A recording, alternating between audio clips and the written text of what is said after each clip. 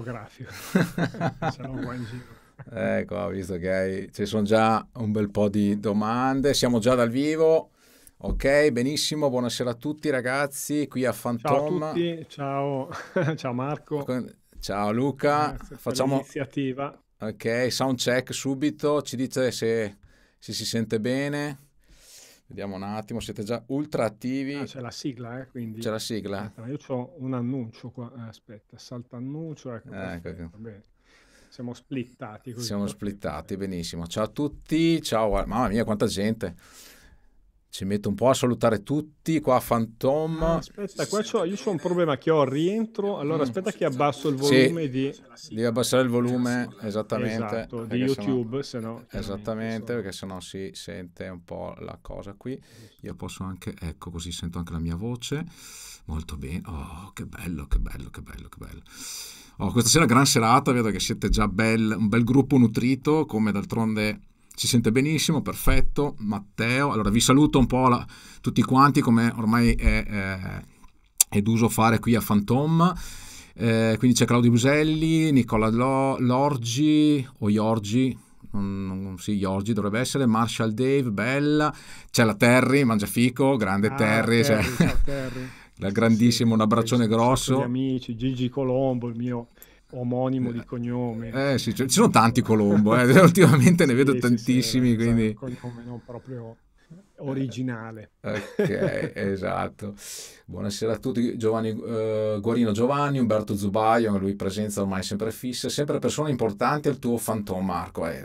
Questa sera, diciamo, questa settimana è stata veramente una settimana molto ricca e diciamo la concludiamo. Poi, tra l'altro, vi dico subito che ho fatto una triplette questa settimana, ma da già dalla prossima ne farò due perché effettivamente immagino che la gente giustamente dal- da questo Posso fare lockdown... una mozione? Vedo, sto guardando il video, vedo Mm. la tua definizione che è, è è molto più alta della mia. Eh, lo so. Quindi non so se è una cosa È, di... è una cosa normale perché tu mi arrivi in bassa definizione, effettivamente.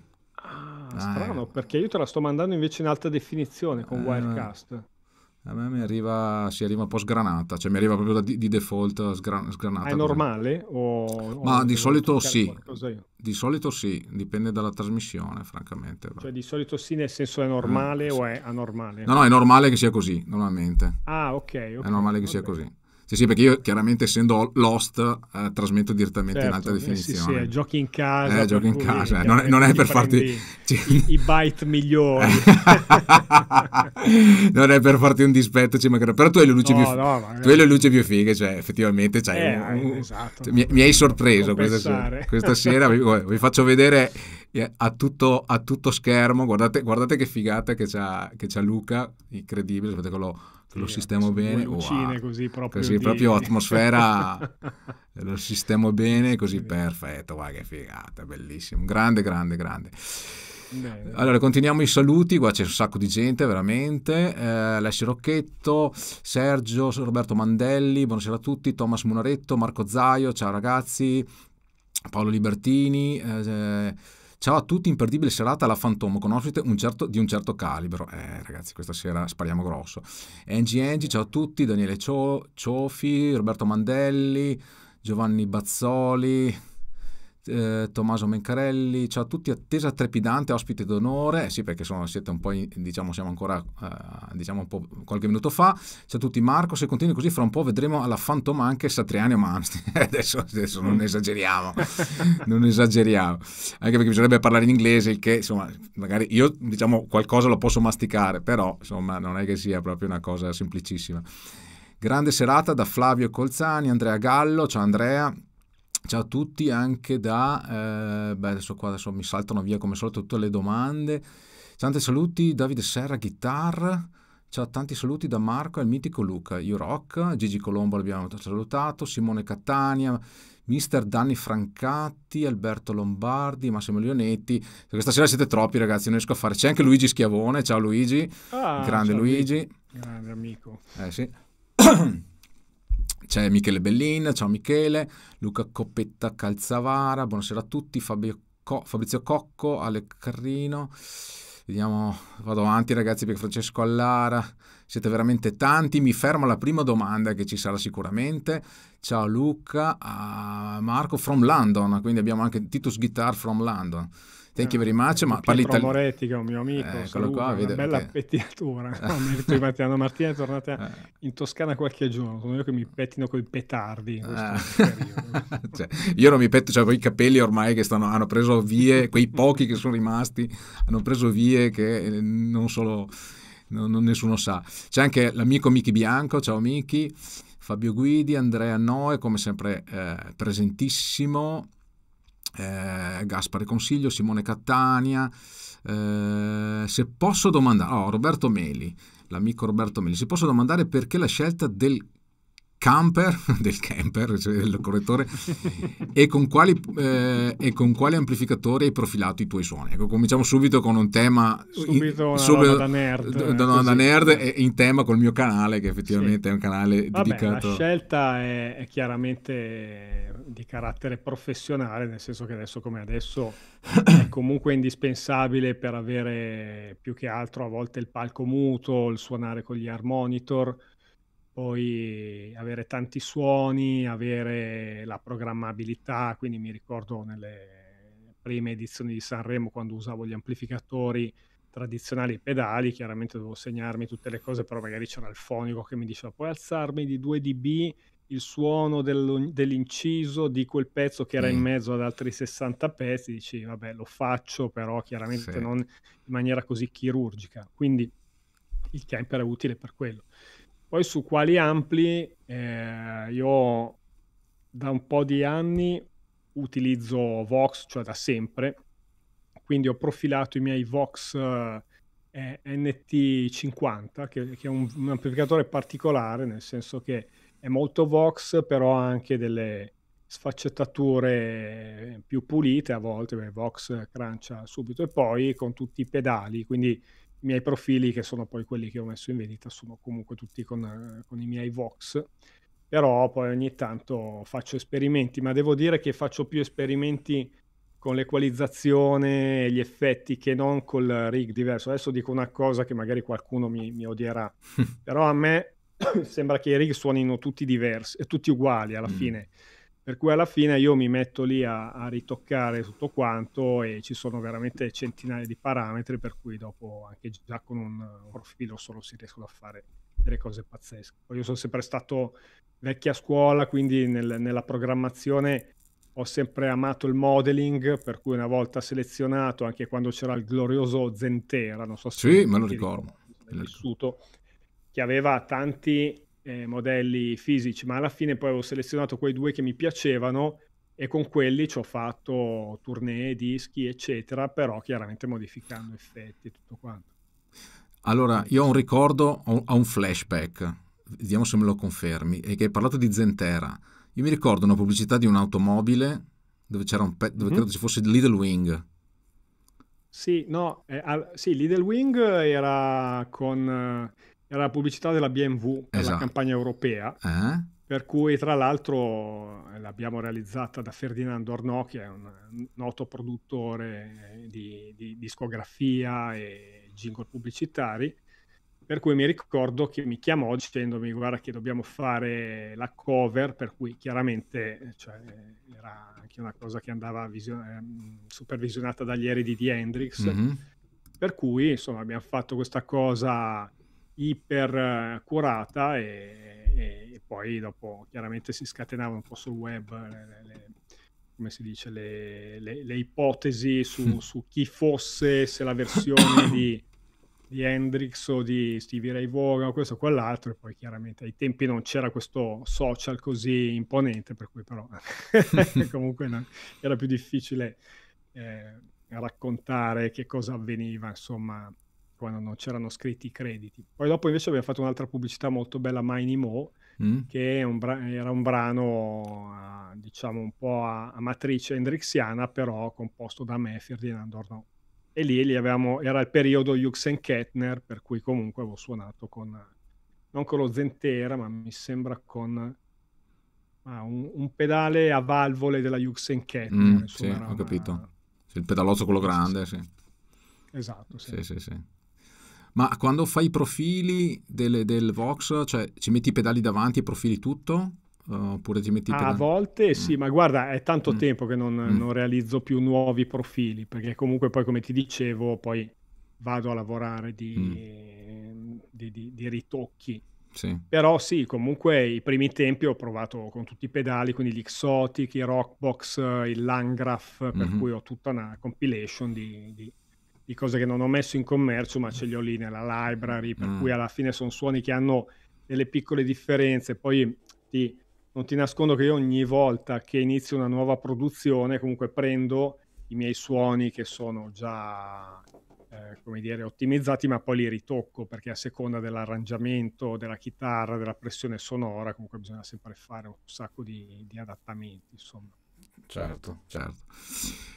C'è un'altra domanda da Simone GRV. Ciao, come si impara a gestire emozioni del palco? Chiedo all'ospite Luca, è una cosa non semplice, oltre alla preparazione cosa è d'aiuto?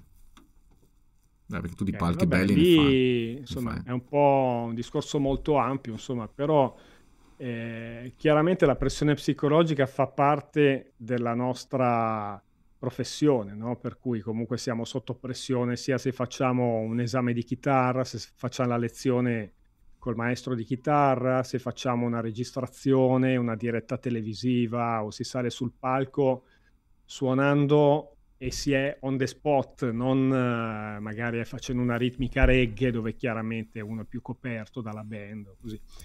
Per cui lì lo studio sicuramente aiuta sempre, per cui se io sono molto preparato sono più tranquillo. Però a volte cerco anche di studiare, eh, che ne so, faccio un esempio, studi- eh, eseguire un brano lo eseguo molto più veloce, così quando arriva il momento della diretta sono tranquillo, insomma, perché comunque ho già sperimentato eh, anche un, uno step più difficile. Poi vabbè, ci sarebbero mille cose da dire, insomma, però chiaramente è molto importante anche avere una buona, anzi eccellente organizzazione mentale, la, gli strumenti, la... poi spesso c'è una partitura da leggere, quindi la difficoltà a volte è di leggere la parte, guardare il maestro e guardare il cameraman, cambiare gli effetti. Infatti io in televisione mi dicono sempre che non rido mai, dico sempre che non c'è un cazzo da ridere, perché comunque è, un momento dove eh certo. chiaramente sono sotto pressione sì. per tante cose, quindi quando in televisione vedo uno che è fin troppo allegro così o quel pezzo magari l'ha suonato centinaia di volte perché è il chitarrista storico di un artista se invece è una cosa nuova, solitamente se uno è così tutto spensierato, forse in playback. per cui questo è un po' quello che spesso... Eh sì, sono assolutamente, assolutamente d'accordo con te.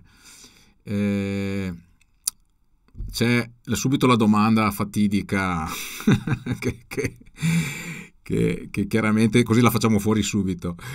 Da Fabio Guidi, tra le domande per Luca, è troppo chiederti come mai non eri a Sanremo, scelta tua dell'organizzazione? Eh, cioè, certo. tiriamo fuori subito... Scelgo io no? di non andare a fare il lavoro di televisivo più importante. eh, insomma, ci sono, dei, sono, stati dei cambiamenti quest'anno, come mm. si è visto, insomma, per cui comunque non sì, ero insomma. solo io non, non riconfermato, esatto. però comunque adesso non ho voglia di entrare nei, nei dettagli, però no, non è stata una scelta mm. mia, ecco questo. Certo, buon, perfetto. Eh, eh, comunque, infatti comunque Luca non ha fatto Sanremo è successo il finimondo, effettivamente c'è stato. Eh, Ma sì, comunque... è scoppiata no, adesso... eh, va bene, insomma, dai. Eh, Ciao Marco, che auricolari stai utilizzando? Va bene, ok, sto usando dei, degli auricolari Lake Sound che sto, che sto, proprio testando in questo momento. Ah, eh, sì, sono... Ecco, parlaci ecco, dell'esperienza, questo, visto che hai introdotto questo tema, perché degli anch'io... Auricolari. Degli auricolari, dei, perché effettivamente no... Sono le ultimate. Ecco, sono... tu, io invece sto, sto, testando questo brand italiano, artigianale. In Italia mm. ci sono diversi costruttori di in-ear eh, diciamo professionali eh, sto testando che è la prima volta che mi capita appunto di, di, di, di testare delle cose un po' professionali ecco. però cioè, sicuramente eh, tu come sai diciamo io devo la mia notorietà al discorso del digitale e chiaramente eh, il digitale eh, offre tantissimi spunti tu mh, mm, sei testimone perché effettivamente in situazioni come possono essere Sanremo o situazioni comunque di, di palchi attuali sicuramente non, non, si può portare la classa, cassa testata 4x12 con volumi, cioè il concerto degli CDC lo possono fare solo gli CDC oggi come oggi. Certo. Eh, mentre diciamo la, la, la, tua, la, tua, esperienza, ormai, che è ormai quella di, della maggior parte dei palchi, impone un palco silent sostanzialmente, anche se mm-hmm. tu in realtà non sei proprio silent perché comunque hai, hai la cassa. Beh, se posso uso una via mm. di mezzo, dipende sempre dagli ambiti no? mm. e anche poi dall'intelligenza dei, dei musicisti. cioè, allora, un palco completamente silent non può esistere perché già la batteria, batteria, a meno che non sia una batteria digitale, comunque ha un volume. Se si mette anche il plexiglass, comunque ha un'uscita. Mm. Non si sa perché, ma la chitarra viene spesso eh, segata, no? cioè non si sa, si sa perché spesso il chitarrista gli dà di volume, allora dicono no, spegniamo. No? Chitarrista è sordo. Però in realtà ci può essere una via di mezzo. Io comunque sono un sostenitore della chitarra a un volume eh, umano e dignitoso all'interno del mix. Non sono uno di quelli che ama avere il volume che spacca tutto, anche perché spesso è anche un po' una manifestazione di, di, di, di virilità, no? di certo. avere un volume mostruoso, ma in realtà non, non sempre è, è necessario. Per cui da un po' di anni ho adottato questa soluzione di avere eh, in ogni caso il camper, gli Harmonitor, però una cassa Red Sound solitamente o a volte anche una cassa per un cabinet per chitarra normale che mi permette l'interazione, per cui mm. comunque se devo fare un feedback ce l'ho.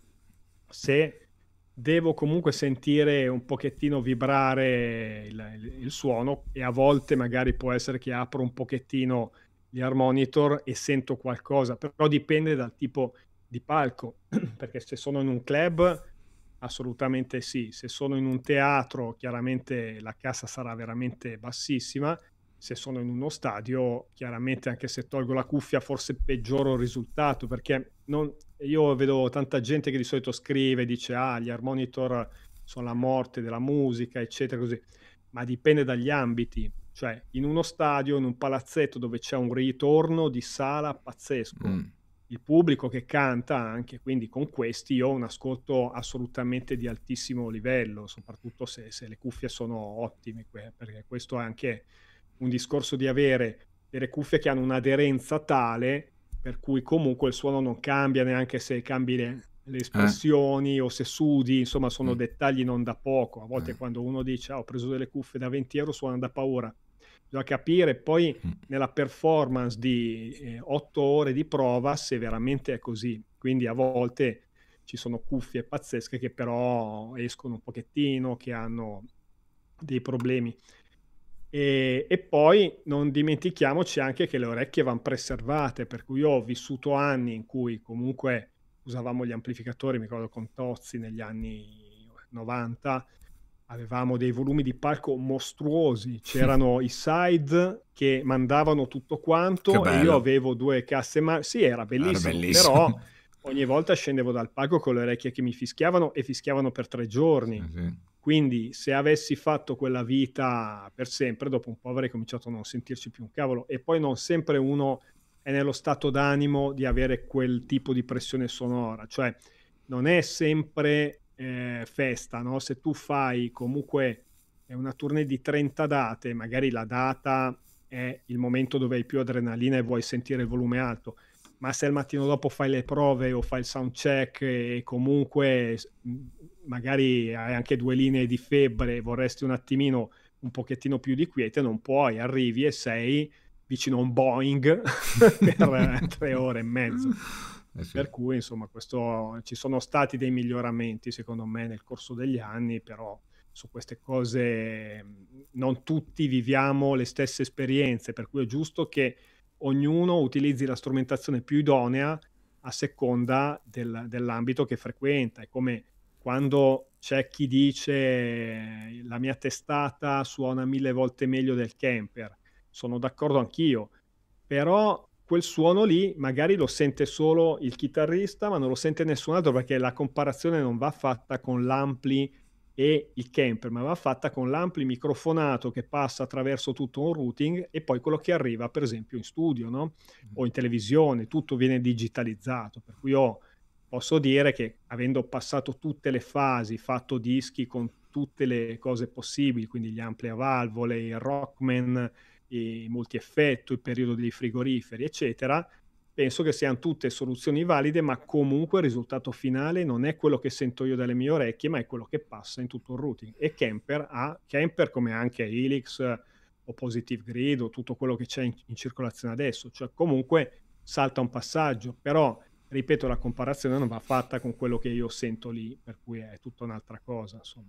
Assolutamente, io credo che tra l'altro io quando ho cominciato la mia esperienza digitale, non ho cominciato subito col digitale, ma l'ho cominciato perché anche a livello di piccoli locali eh, ho cominciato a usare gli, gli in-ear eh, ed è stato un cambio epocale, cioè, traumatico all'inizio perché effettivamente vai a sentire tutta una definizione della chitarra che, che sol- solitamente non sei abituato a sentire, però effettivamente è stato utilissimo per poi capire come funziona il sistema digitale. Credo che oggi come oggi un chitarrista, tra le varie cose in cui deve essere preparato, soprattutto a fare un lavoro come il tuo, credo che ci sia la necessità di imparare a suonare, ad ascoltarsi con, uh, con gli in-ear monitor.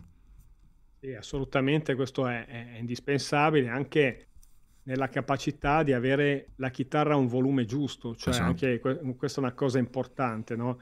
Cioè tanti vogliono sentire il proprio strumento molto più alto del resto.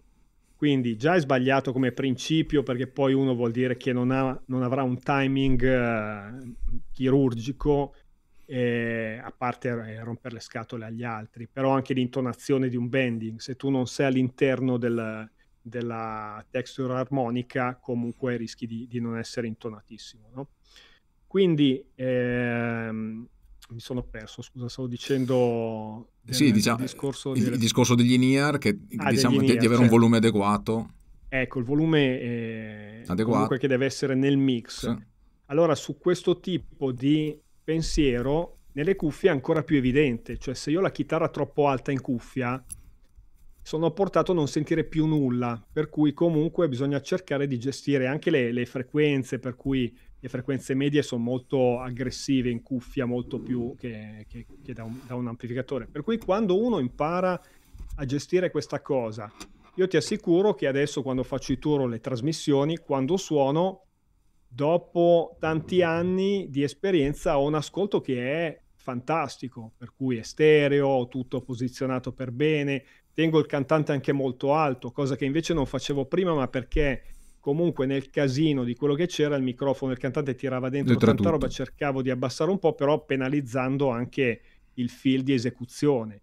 Invece adesso quando il cantante è molto alto io suono come se fosse se, se stessi accompagnando il disco, però è tutto rigorosamente live. No, ti, ti, ringrazio infinitamente perché cioè, proprio sei, sei diciamo le, le, parole che solitamente dico io stampate da te, ecco, quindi perfetto, ah, cioè, mi fa molto piacere ci che siamo messi d'accordo. Ci siamo messi neanche se ci mettevamo d'accordo prima, hai usato le parole eh, assolutamente perfette che io insi- in cui insisto molto, cioè al di là del fatto che uno voglia utilizzare l'analogico, il digitale è estremamente importante l'ascolto, ragazzi, l'ascolto dovete suonare all'interno della band, non per i fatti vostri, solo allora potete Posso essere... rispondere a un paio di domande che sì, sto vai, vai. lì? Vai, vai. Allora, c'è vabbè, Paolo Guiducci che dice in studio di registrazione la preferenza fra analogico e digitale.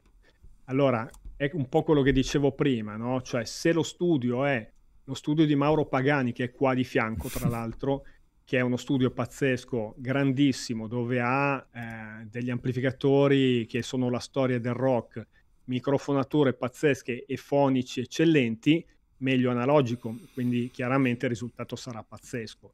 Anche se richiede del tempo, cioè comunque andare in studio e registrare eh, una take con eh, una, un, un, Vox, eh, lui ne ha tanti, per cui a volte li compariamo un po', vediamo un po' richiede del tempo, la microfonatura, a volte ci mettiamo lì, controlla, sì, suona bene, no, spostiamo il Neumann, no, mettiamo il 57 o quello a nastro, per cui ci vuole tempo.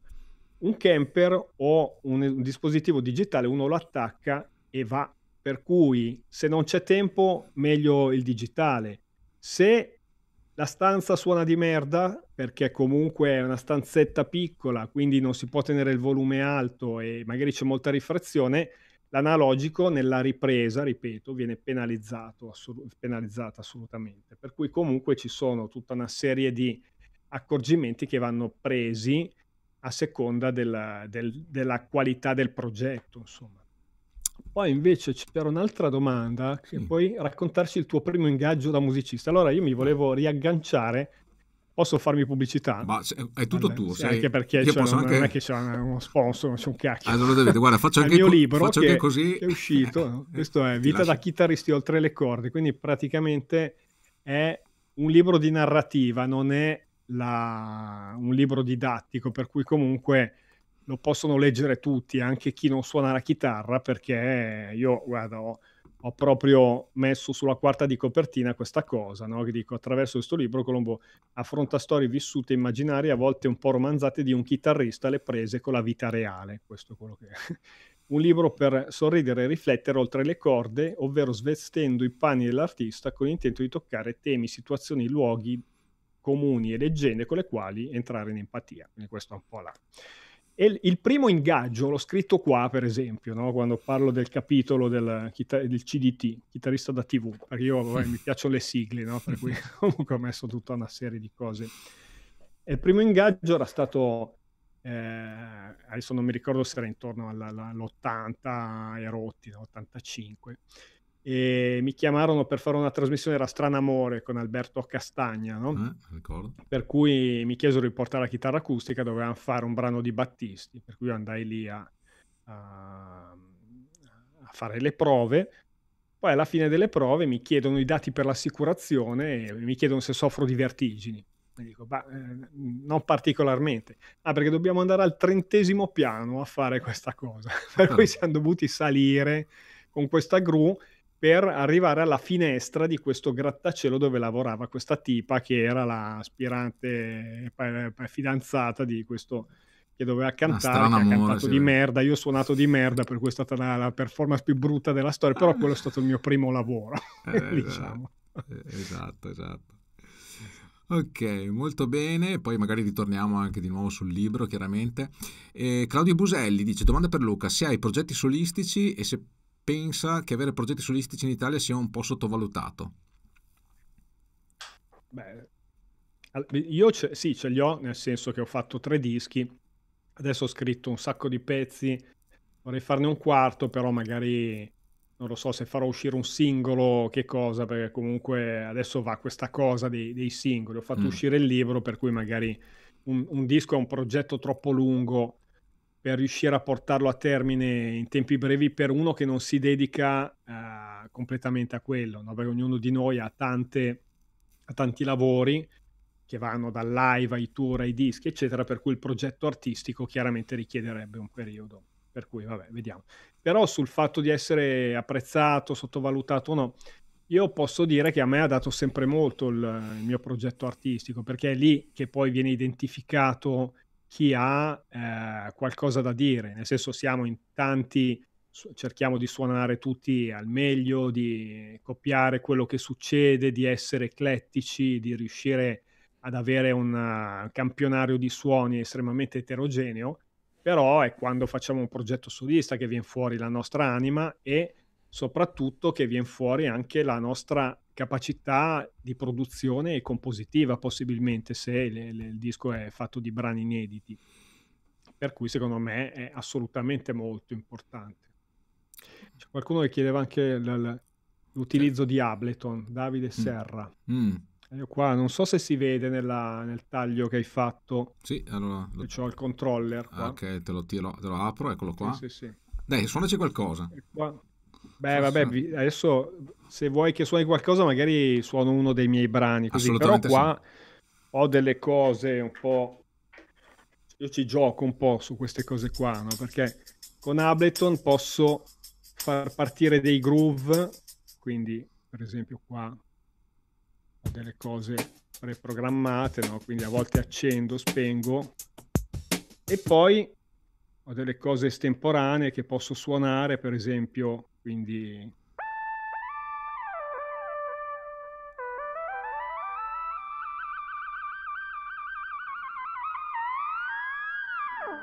per cui posso un po' mixare a volte delle eh, parti suonate qua oppure suonate con, con, la chitarra oppure a volte vediamo adesso qua.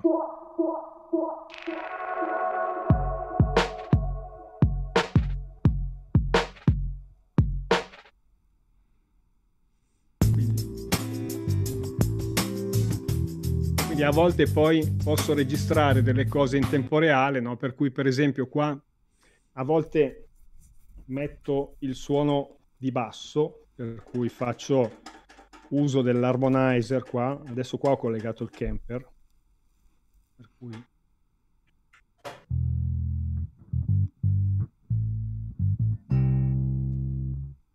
per cui se faccio partire delle clip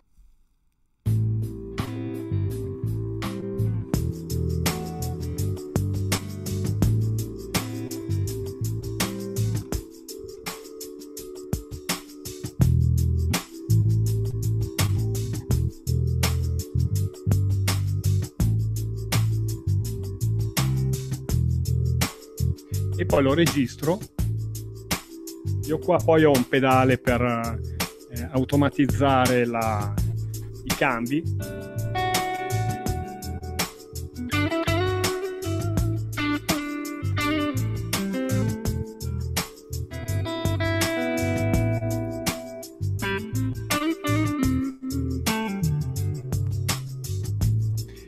E questa diciamo che è una clip che ho programmato su un accordo, però poi posso mettere altre cose, tipo qua precedentemente ho registrato una clip di un blues, per esempio. No, qua, aspetta, un'altra cosa.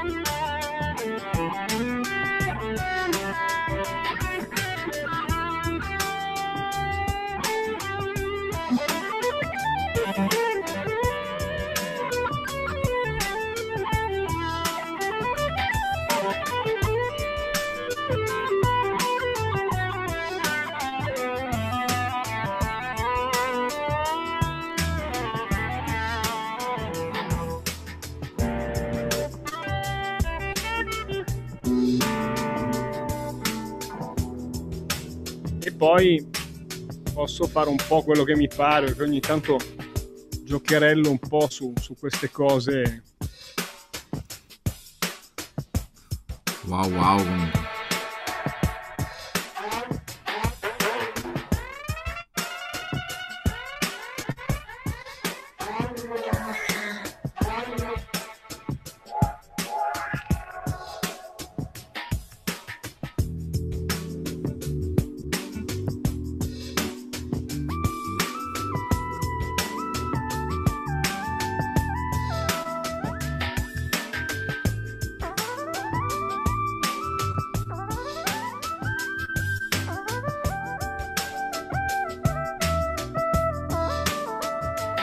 A volte uno può mettere, mm. che ne so, degli arpeggiatori, no? Per cui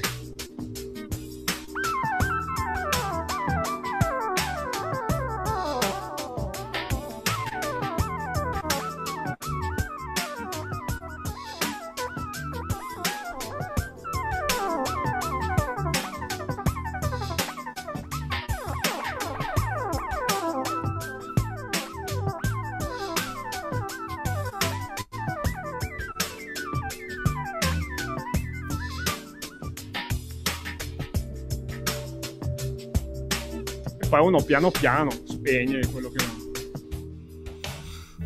Wow.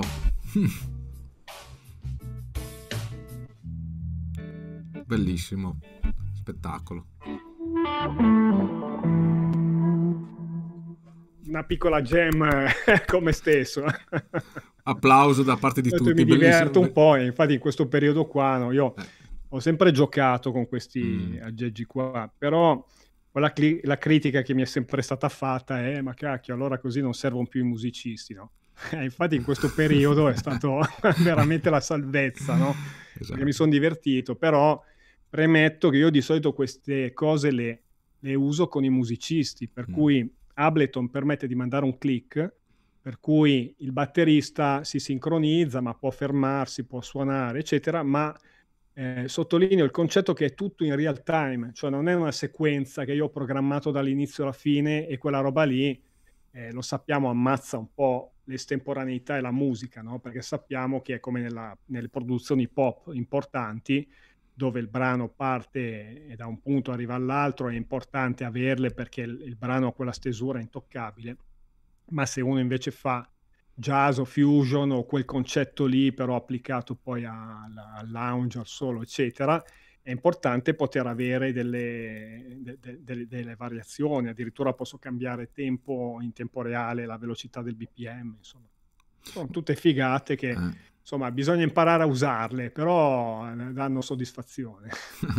Ma i, i, suoni sono generati da Ableton stesso oppure un, un espander? Quali qualcosa? suoni? I suoni Quelli... che abbiamo sentito sono un po' un mix perché mm. Ableton è semplicemente un software che permette di generare in real time delle, delle, delle, sequenze e sincronizzare tutto. Cioè il bello di Ableton rispetto ad altri software è che è sempre a tempo. Sì. Per cui se tu anche stai facendo andare una sequenza e col puntatore vai in un altro punto, lo cambierà sempre a tempo. Mm. Non è come Logic dove tu sì.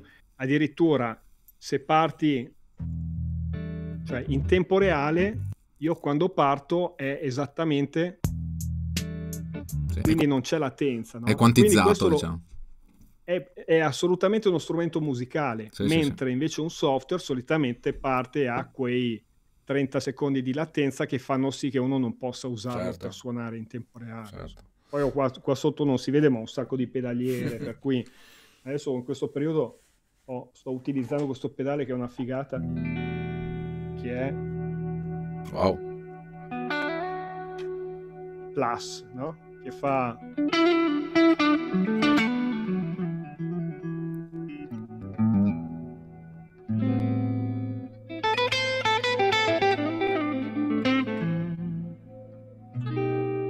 se uno deve studiare le scale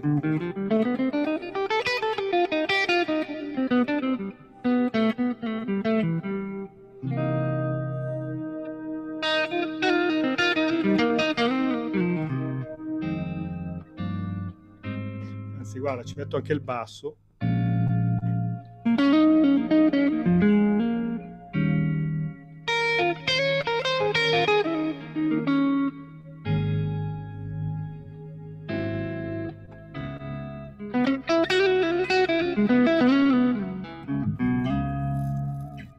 Bellissimo. Per cui, mm, mm, mm.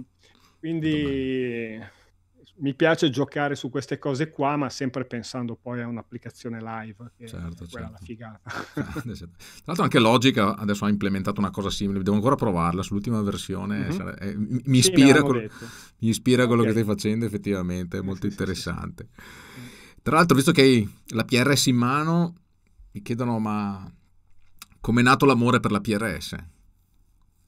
E... Ma allora, mm. c'è una storia dietro eh, mm. che sai che sto guardando si vede Peccato che la qualità. Eh, la qualità, quest- eh, quest'ora qua purtroppo. Ah, eh, dopo verso le. Che ore sono adesso? Verso le 11 si risistema perché probabilmente. Ah, ok. okay. Ta- quelli, quelli, che non sono, quelli che non sono su Netflix sono qui, stai sicuro. Ah, cioè, okay. c'è, c'è, eh, c'è, ancora, c'è, ancora, un po' Quasi... di gente che è su Netflix e quindi la banda si, si abbassa certo, un pelo. Ma l'audio invece arriva bene. L'audio arriva perfetto. Questo è sempre l'importante. Eh, l'audio arri- arriva bene in stereo, tra l'altro, quindi Fantastico. Infatti con, con, Zoom è il bello è appunto eh questo, sì, che l'audio, sì, che l'audio è stereo. Allora, l'amore per la PRS. Dunque, io diciamo che ho sempre avuto delle lunghe fasi, cioè chitarre di cui mi sono innamorato per tanti anni, poi è successo qualcosa per cui mm. ho cambiato, per cui ho avuto come tutti il periodo strato, quindi il periodo in cui appunto hai citato la, eh, la pubblicità di, di, di, di Little Wing sì, e comunque lo strato landing style andava molto ma non così tanto come poi è avvenuto negli anni dopo. Quindi a un certo punto diciamo che mi ha un po' stancato quel suono che è meraviglioso la Stratocaster è la chitarra più bella del mondo però facevo fatica a trovare un'identità. Quindi questa era la cosa un mm. po' che mi, mi ha fatto cambiare e sono passato alla Les Polio, la mia Les Paul, non so se si vede lì, che sì. è la, la Gold Top, la mitica, che ho usato in, tantissimi yeah, okay. programmi, dischi, eccetera, insomma, per cui comunque tanti mi scrivono ma che fine ha fatto e lì comunque la, la suono ogni tanto. Però poi un giorno è successo che eh, è caduta e si è spaccata la paletta. Infatti ne approfitto anche qua per ritirare in ballo il mio libro dove qua a un certo punto parlo di storia di una frattura. E parlo di, di, questa disavventura e ci ho scritto un romanzo su questa cosa, ma in realtà poi la, il, è solo il finale che è vero, che mi è caduta e si è spaccata la paletta. Eh, e purtroppo la Gibson allora, quel problema lì. Quindi a quel punto, in quel periodo, ero disperato perché io poi sono molto monotematico, no? quindi ho tantissime chitarre, ma ne uso quasi sempre una sola, poi uso anche le altre perché magari servono suoni diversi, però di base io suonerei solo con una chitarra. Quindi sono andato alla ricerca di un'altra Les Paul e ho, eh, io tra l'altro ero endorser Gibson, per cui mi avevano dato vari strumenti, ma non c'era mai quella che era come quella lì per cui ne ho provate tantissime dai vari amici, da Carlo di GBL, dalla Key Music, oppure sono andato anche eh, a fare giri a Montebelluna, insomma. Poi un giorno per caso mi è capitata una PRS e ho detto ma proviamola. Poi tra l'altro qua c'è una cosa buffa che io non l'ho mai presa in considerazione per un motivo, perché vedi che ha questa discesina qua, sì. ok?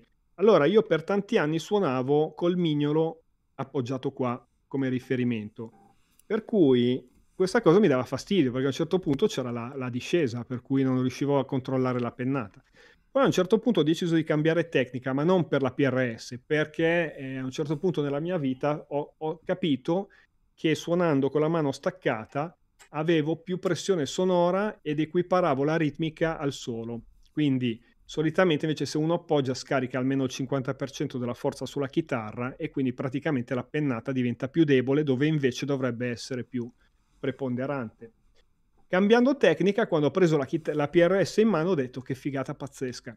Per cui diciamo che eh, l'ho presa in considerazione e ho comprato, la prima fu eh, una Dave Grissom, che è una sì. PRS un po' particolare, una 22, bellissima. bellissima con uh, tre potenziometri perché si possono fare i blend dei due pick up. L'ho tenuta un po', poi però sono entrato nel trip, quindi ho cominciato a provare PRS destra manca, quindi come spesso accade ho fatto una cazzata, l'ho venduta, ne ho presa un'altra, che poi ho rivenduto, ne ho presa un'altra ancora, eccetera, fino a che ho trovato pace con la Custom 24, quella che, che c'era nella foto, che mm-hmm. è qua giù. Che...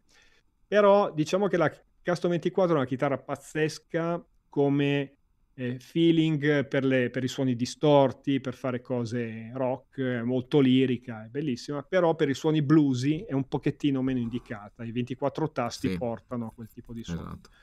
Quindi allora poi ho preso delle custom 22, qua so.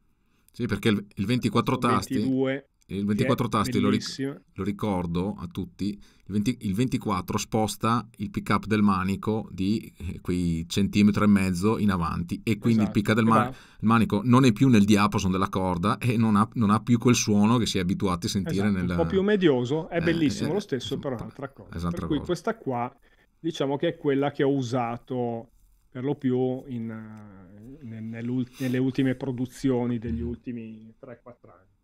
Poi qua ho un'altra PRS molto bella che è una 594, quindi è un'altra McCarthy, però questa ha 4 potenziometri e è un pochettino più, eh, come dire, più pesante come, mm-hmm. sia come body che come suono, però è bellissima anche questa. E quindi in questo periodo di quarantena ho cercato di far sparire tutto virtualmente almeno, è di usare solamente uno strumento, perché mi sono messo a, a studiare una serie di cose, la pennata, il tocco, eccetera, per cui comunque io ho i periodi in cui mi concentro molto sul, sul suono, sul tocco, sui mitici plettri di. Tommasi, insomma, che sono quelli che comunque generano poi il suono di Eh sì. partenza. Eh sì, eh sì, sì, sì. Ecco, quindi questa è la storia dell'amore per la PRS. Benissimo. Va detto che la PRS è uno strumento, a parte che come liuteria è pazzesca, per cui ogni volta che ne prendo in mano una, anche io viaggio tanto, viaggiavo tanto, almeno adesso vediamo se si riparte, e ogni volta se chiedo una chitarra sul posto, perché magari non si può portare in aereo, comunque è sempre una chitarra di alto livello, regolata bene, anche perché chi la tiene, insomma, essendo uno strumento di valore, la tiene molto bene, per cui comunque... Però quando le tiri fuori dalla custodia da nuove sono già perfette così. E poi cercavo un suono che stesse un po' sia nel mondo eh, de, scala Fender e scala Gibson, per cui comunque ha un suono molto caldo, però al tempo stesso con una, eh, delle sfumature cristalline che mi mancavano un po' sulla Les Paul. Questa è un po' la Esatto. filosofia, insomma. Molto bene, tra l'altro saluto c'è Mirko Cascio che, che ci sta seguendo e anche, Ah, e anche- ciao Mirko, grande Mirko. e anche Luca Galeano. E Ah, ciao Luca, beh, bene, ospiti. eh, ospiti interessanti questa sera. Eh, ci ci chiedono il nome del pedale che hai usato prima. Quello che fa Eh, Sustain, si chiama sì. Plus, Plus. della Game Changer. Del Game Changer. Perfetto. Bellissimo, adesso non ve lo posso far vedere, però eh, sembra un pedale del sustain del pianoforte, per Mm. cui anche come oggetto è bellissimo. Costicchia perché credo costi sui 300 euro, euro e Mm. lo importa Backline. Mhm. Eh, però è veramente una cosa incredibile perché poi, cioè, a volte si possono fare delle cose strane.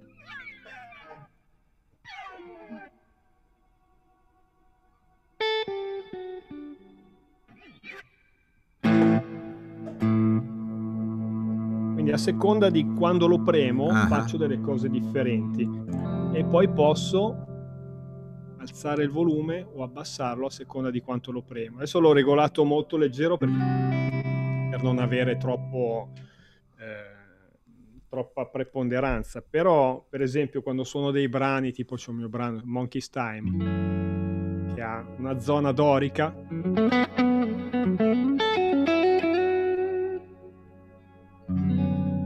zona frigia.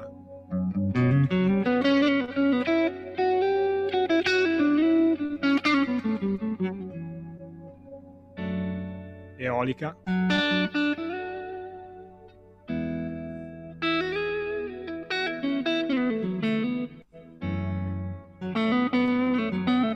Una zona misolidia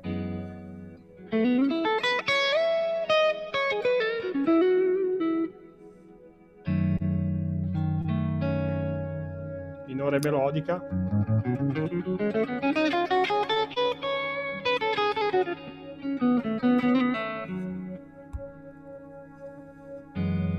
eccetera insomma Bell- per cui bellissimo. comunque con questa cosa se c'è un bassista che sta suonando io mi faccio da Fai il pad, da tastierista fai- da sì, solo insomma, sì, sì. Ma fa anche fa- il riverbero che sentiamo lo fa lui? Eh, eh, non c'è reverbero Ah. di fatto eh, cioè il rever- ah no scusa il reverbero che senti è del camp Ah, quindi ok. lui è prima. Prima. di tutto per cui entra però io qua c'è un segreto che ho fatto Ah. che praticamente lui ha un'uscita separata io lo faccio entrare in un MS70 della Zoom Ah? e quindi gli do un chorus Ah, per ah, cui ok. lo senti allargato Ah, così si apre. Bellissimo, sono bellissimo. tutti esperimenti che ho fatto in questo periodo perché avevo il tempo di farlo E poi però l'altro è l'Octaver della Boss che invece permette un'ottava selettiva, per cui diciamo che funziona fino a questo Fa. C'è. Dopodiché basta, non c'è più, per cui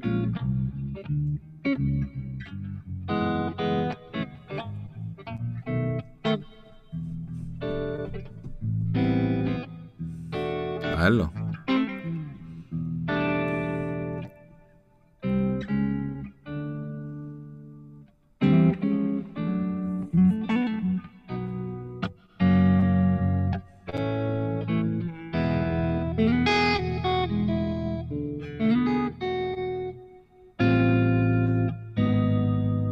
Per cui si possono Bellissimo. fare un po' di...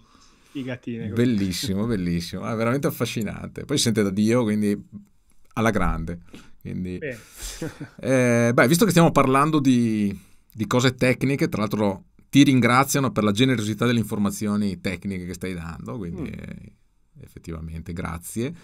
Eh, Ivo Ciaraldi chiede consigli per una routine di studio settimanale, come la dividi? Questa è una domanda che capita ormai sempre su tutti gli ospiti mm-hmm. chitarristici e tu che sei effettivamente un maestro sì. importante. Vabbè, io eh, adesso sembra che mi voglia far pubblicità Ma, assolutamente. No? Però, cioè. però, ho i miei libri Vita da mm. chitarristi che sono mm. proprio impostati in quel modo, no? Sono 15 lezioni per ogni volume e ogni lezione sarebbe lo studio di una settimana, per cui all'interno c'è lo studio di esercizio di riscaldamento, un elemento musicale che può essere lo studio di una scala nuova, un elemento armonico, quindi l'armonizzazione di quella scala, e poi degli elementi teorici, per cui diciamo che lo studio deve progredire su vari fronti, per cui anche la lettura è importante, no? insomma, per mm-hmm. cui comunque io cerco sempre di spronare i miei allievi a studiare attraverso la partitura e non la tablatura e mm-hmm. quando si legge comunque si ha una visione più colta e globale, quindi è come quando si deve suonare un brano, è vero che più o meno a orecchio uno riesce a fare tutto quanto, però avendo una traccia davanti diventa tutto meglio, però la difficoltà di chi legge la musica è di non diventare eh, asettico, cioè comunque la, il lato razionale e emozionale devono sempre rimanere molto eh, allo stesso piano. Allora se si riesce a fare questa cosa si riesce a leggere la musica però suonando in maniera istintiva. Insomma. Ok, molto bene. Eh, Waterman ci, eh, ci chiede, ma lo chiedo a te, qual è il tuo Pelé e Maradona della chitarra? Ah, io non è che sia molto forte in calcio, quindi vabbè. No, ma sono... dal punto Però di... i due... No, non, non, mi piace rispondere a questa domanda mm. perché io ho sempre ascoltato tutti i chitarristi, no? Per cui comunque ho avuto dei periodi in cui ho scoperto Pat Metini, ho scoperto John Scofield, ho scoperto Van Halen, ho scoperto Jeff Beck, ho scoperto Hendrix eh, tardi rispetto a mm. tutti quelli che ho citato adesso. Per cui ogni periodo mi ha dato tantissimo, no? Quindi eh, a volte avrei voluto suonare come Scott Henderson, a volte avrei voluto suonare come Gary Moore, per cui cioè, ognuno ha qualcosa veramente di, di, incredibile, di importante. Anche Santana è uno che mi ha eh, aperto tanto un mondo musicale, anche se non viene annoverato tra i chitarristi più virtuosi, però invece è veramente virtuoso dal punto di vista dell'espressività, del lirismo. Per cui è uno di quelli che eh, quando lo senti è riconoscibile, ma che poi tutto sommato ha inventato le canzoni chitarristiche strumentali, cosa che poi è stata ripresa da Gio Satriani o da tanti altri dei, dei più moderni, però lui alla radio eh, se ne usciva con Europa o Samba Patti, per cui ai tempi era roba, no? quando tu comunque non avevi grandi spunti chitarristici, poi sentivi sta roba alla radio e dicevi, ah ok, quindi si può suonare anche così la chitarra con questo feedback infinito eh, che sì. non si capiva mai come facesse, no? Esattamente, sì. bellissimo, effettivamente è, è, è, quel modo di suonare da storyteller, diciamo, che tra l'altro io vedo che Salvatore Tedesco che ci fa una richiesta di Sunderland eh, e quello, quel disco è molto bello perché effettivamente è uno, è uno storytelling quel disco lì, cioè ci, ci sono delle linee melodiche che, che sono piacevolissime, cioè non si ascolta il, diciamo, la, la, chitarra e basta, si ascolta un, una storia. Sì, ti, tengo, esatto, quello che ti dicevo prima sui progetti artistici, no? cioè comunque è molto importante non solo la bravura del chitarrista, que- quello che cerco io almeno, e poi cerco di riproporre, ma anche tutto il mondo sonoro. Per esempio, per me eh, i progetti discografici andrebbero almeno una volta ascoltati in cuffia, perché è lì che si colgono tutta una serie di profondità, di elementi che passano inosservati, ma che sono estremamente importanti. Per cui anche gli assoli di, que- di quel disco sono un po' delle storie, però io non li rifaccio mai uguali, però in una sola è bello raccontare qualcosa e non fare semplicemente il leak uh, del momento o cercare di, di stupire. Anche la, la, difficoltà quando si fanno i progetti artistici è di non essere autocelebrativi, perché comunque, siccome siamo, parlo del, de, de, di chi fa il mio lavoro, quindi lavora con gli artisti eh, o in televisione o nelle orchestre, abbiamo un sacco di limitazioni, no? non fare quello, non fare una nota in più, usa esattamente quel suono, eccetera. Però in tutto questo io cerco sempre di metterci la mia creatività e a volte trovo delle micro variazioni che mi, mi soddisfano. Quando faccio le mie cose, idealmente direi adesso faccio il cazzo che voglio perché ho la posizione. Però invece è lì proprio che mi limito, perché a volte mi rendo conto che eh, fare meno è assolutamente più, più importante. Insomma. E Sunderland è nato un po' così, insomma, con delle melodie molto larghe che evidentemente sono piaciute. Insomma. Ma ci, ci, fai qualcosa dall'album? Sì, va bene, posso fare farei sottovento, che sì, sì. la base. Come dice la De Filippi. È tutto bello, ragazzi, se non, ce se non l'avete, avetecelo avetecelo perché è un album che si gode anche in macchina, così, così in autostrada, è spettacolare, veramente. Eh, ti ringrazio. Veramente bellissimo, ce l'ho sempre come colonna sonora delle, dei miei viaggi.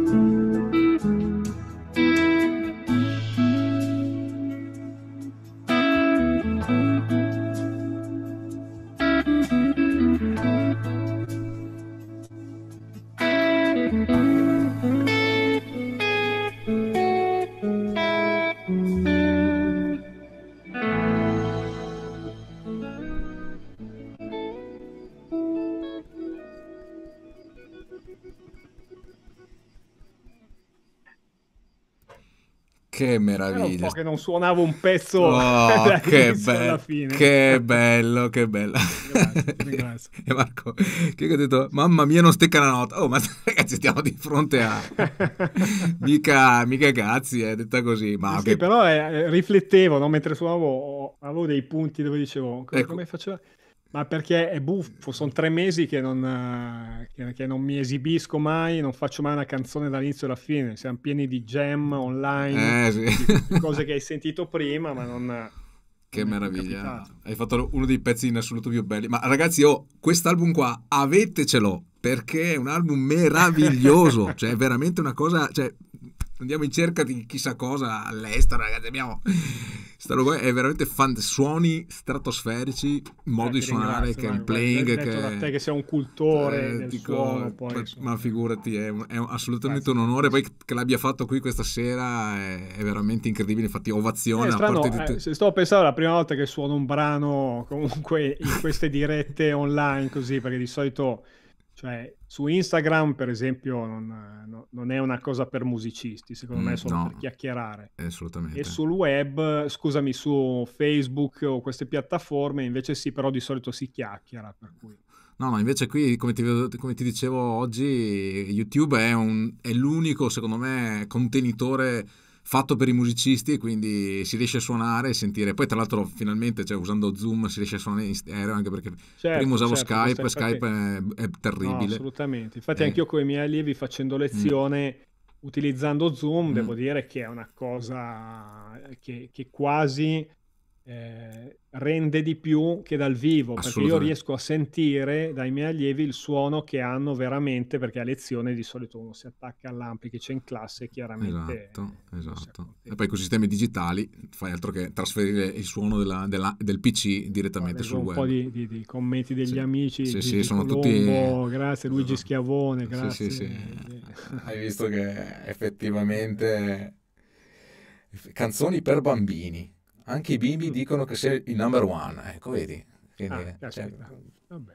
Eh beh, eh beh, insomma... aver fatto anche qualche brano eh. di, di, cose, di, di, musiche, sigle per cartoni animati o cose beh, co- cosa non hai suonato? Perché poi, tra l'altro, qui c'è una. So, io sono ancora alle prime domande, perché sto guardando, ah, come, come ti, dicevo, ti, dicevo, sia all'inizio che alla fine. Tu hai fatto l'assolo all'Arena di Verona. Eh sì, eh, lì è stata la, la, la, mia prova più ansiogena della vita. Eh, nessun dorme hai suonato, vi ricordo. Eh sì, eh, ma io l'ho già raccontata a molti questa ah. cosa qua, no? Cioè, è stata un po' una situazione in cui mi sono trovato senza neanche saperlo, nel senso che mi chiamarono quell'anno chiedendomi se mi andava di fare da ospite in questa trasmissione sulla lirica, volevano un momento dissacratorio rock per spezzare da un, praticamente da un artista all'altro, insomma, però erano tutti artisti classici, io ero l'unico rocchettaro. Per cui io avevo già fatto Nessun Dorma nella versione di, che ha fatto anche Jeff Beck, Jeff Beck. con l'orchestra, per cui gli dissi di sì, eh, molto volentieri. Solo che poi quando eravamo in prossimità, io gli chiesi quando avremmo fatto le prove con l'orchestra e loro mi dissero: No, non hai capito, sei da solo, devi mm. andare da solo sul palco reale Porca. e fare una versione tua da solo. Ah, ma con la base? No, che base? Da solo, fai una cosa, inventati una roba un po' che spezza. E allora lì chiaramente non potevo più dir di no.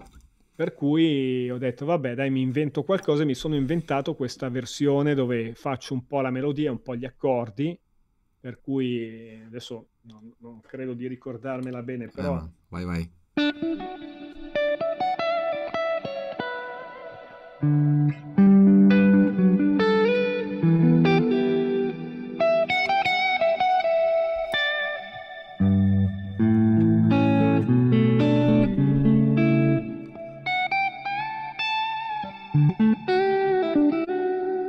roba del genere, insomma, per cui comunque, adesso a parte sto reverberone, per cui comunque cercavo di alternare accordi e melodia, me la sono studiata molto anche tenendo conto di questa cosa della pressione psicologica ah. che è sempre forte, però quando ero lì che mi hanno portato su al palco reale, io in quel momento credevo di morire, perché comunque mi sembrava di andare proprio in pasto ai leoni, eh, così sì, da solo, in diretta su Rai 1, insomma però è andato bene, insomma. È grande, cioè lì è proprio questo che superare quella prova lì e dopo basta, puoi fare qualsiasi cosa, come effettivamente fai, alla grandissima.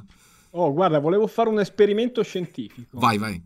Cioè, qualcuno che mi chiedeva se è possibile acquistare il libro autografato. Esatto. Allora io volevo fare un firmacopie digitale virtuale, per mm. cui, eh, guarda, Aspetta, eh, che... Mi hanno inventato sta cagata qua. Allora, dimmi se ti arriva sì? l'iPad sì, sullo sì. schermo. Ok. Allora, quindi praticamente quando uno comprova l'acquisto, no? per cui dice, ah sì, guarda, ho il libro, quindi facciamo questo firmacopie virtuale, così. Allora, a Marco, per esempio, quindi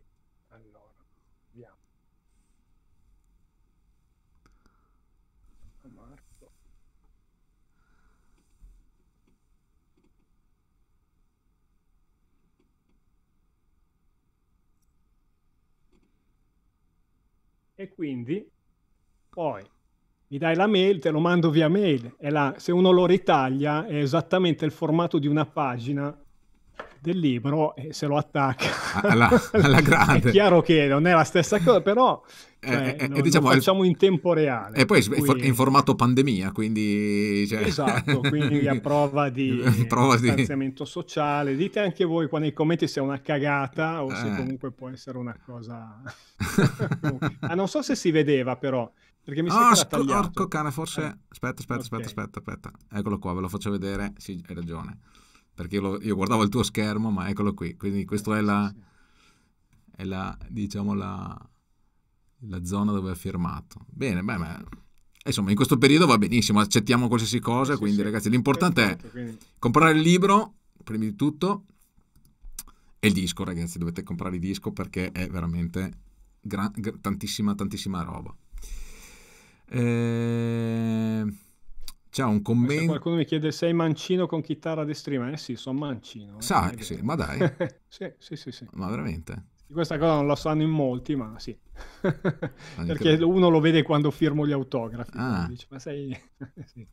Eh, ma questo è, ti sei adattato per, uh, per, il solito problema che non si, trovano, si trovano poche chitarre oppure perché... Esatto, no, no, eh. quando qualcuno mi chiede ma come mai e la motivazione è stata proprio quella, cioè io ho cominciato, il primo istinto fu quello di prendere la chitarra al contrario, no? per cui poi ho girato le corde, eh, per cui per un po' ho suonato così, però poi magari mi trovavo con gli amici, non potevo usare le loro, le loro chitarre, andavo nei negozi, vedevo degli strumenti pazzeschi e poi magari in un angolino ce n'era una mancina che poi era sì, sfigatissima poi... magari. e allora lì ho capito che dovevo cambiare, per cui beh, ti parlo, suonavo da pochi mesi, insomma, però, eh beh, però ho cambiato, devo dire che però ho sempre fatto molta fatica sulla mano destra, eh.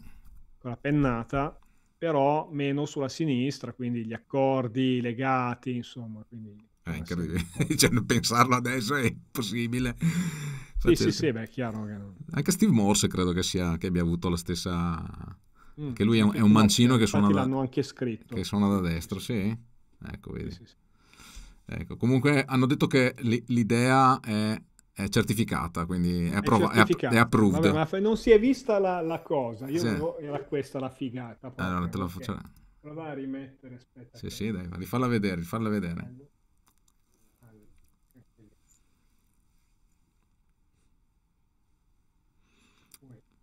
Uno scrive e dice come ti chiami? Mi chiamo Giuseppe. C'è, c'è Pat, Patti, c'è.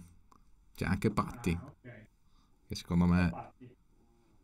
Allora, Giuseppe che poi magari mi chiede la dedica personalizzata, eh. dice suona bene.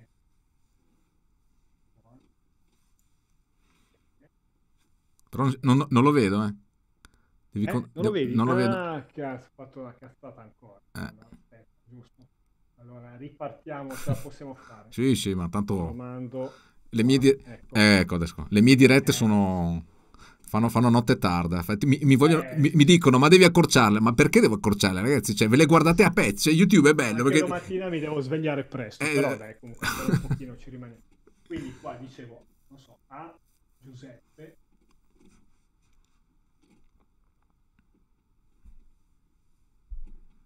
Accorda la chitarra. Ecco.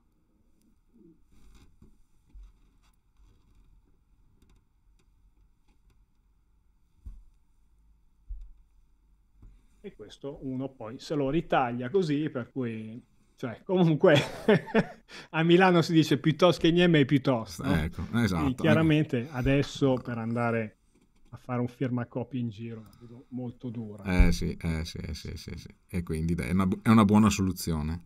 È assolutamente una buona soluzione. Tra l'altro c'è Edo Leonardi.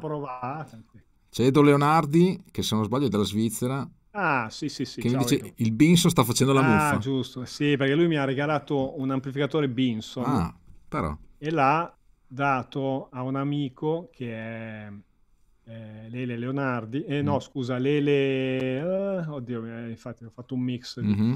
Eh, e quindi ce l'ha lui, devo passare a prendere. Solo che adesso in questo periodo che io sto cercando di disfarmi tutti gli ampli, allora adesso mi, mi, mi torna un po' difficile, ma comunque arrivo, le Edo, arrivo. Qualcuno dice, in effetti si vede che hai difficoltà a suonare, effettivamente, sei un po' impacciato, eh, sì, sì, proprio... sei poco coordinato. ok. Eh, Andrea Gallo fa una domanda, Luca, oggi in quale direzione sei proiettato? Che direzione hai preso e qual è il tuo cammino? Ah, saluto anche Beppe Loggia, mm. che è l'ex inquilino della casa in cui vivo. Ah, ok. Quindi è... è stato buffo quando sono venuto a vedere l'appartamento che lui essendo chitarrista mi ha guardato e mi fa ma, ma tu sei ma tu sei allora ci siamo messi a, a, parlare di chitarre così mentre eh. la mia compagna guardava Fortunato, fortunato lui avere un inquilino così sicuramente non avete problemi no, di ma lui andava via per ah, okay. c'è stato un cambio peccato peccato Niente, quindi Vabbè, do, dove sei proiettato? Qual è il tuo cammino futuro in questo momento? Eh, adesso qua si apre un po' un discorso così, un po' con mille punti interrogativi, no? nel senso mm. che io adesso sarei dovuto partire per il tour negli stadi con l'ultimo. Mm-hmm. E quindi chiaramente adesso tutti i grossi eventi sono stati posticipati al 2021, pare. Quindi paradossalmente i grandi eventi, qui lo dico e qui lo nego perché chiaramente siamo subordinati a delle normative statali e chiaramente le, le grandi agenzie stanno poi cercando di fare il loro lavoro per cercare di salvare il salvabile oppure di posticipare. Però è chiaro che adesso come adesso è più realizzabile una gig in un club oppure in uno spazio all'aperto che non un concerto in uno stadio. Sì. Quindi chiaramente adesso io ho il calendario annullato, per cui penso mi rimetterò a fare un po' di concerti con la mia band, con uh, Alessandro e Paolo Polifrone, per cui anzi si accettano ingaggi se qualcuno quando cominceremo, insomma perché chiaramente adesso è sempre un po' difficile fare le cose in corsa così. Ti, Però, ti, ti chiamo, eh, ti chiamo, eh, vieni a suonare dalle mie parti, ti organizzo. Sì, sì, volentieri. Ti organizzo volentieri. assolutamente. Però poi nel frattempo vado avanti con le lezioni online, mm. eh, insegno al Conservatorio di Bergamo, insomma, per cui lì mm. la didattica non, non, l'abbiamo mai fermata.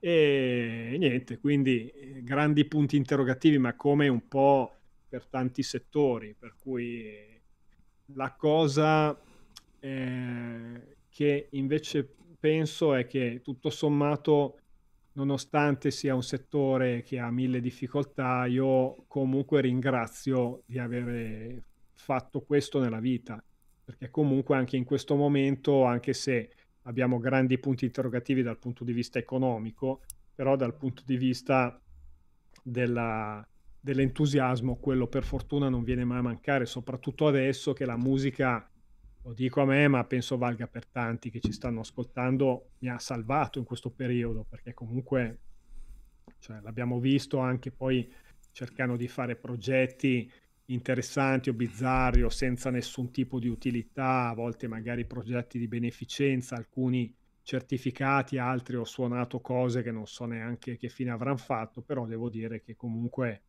eh, l'importante è sempre aver mantenuto l'entusiasmo nei eh, confronti eh, certo. di quello che uno continuerà a fare per tutta la vita. Insomma.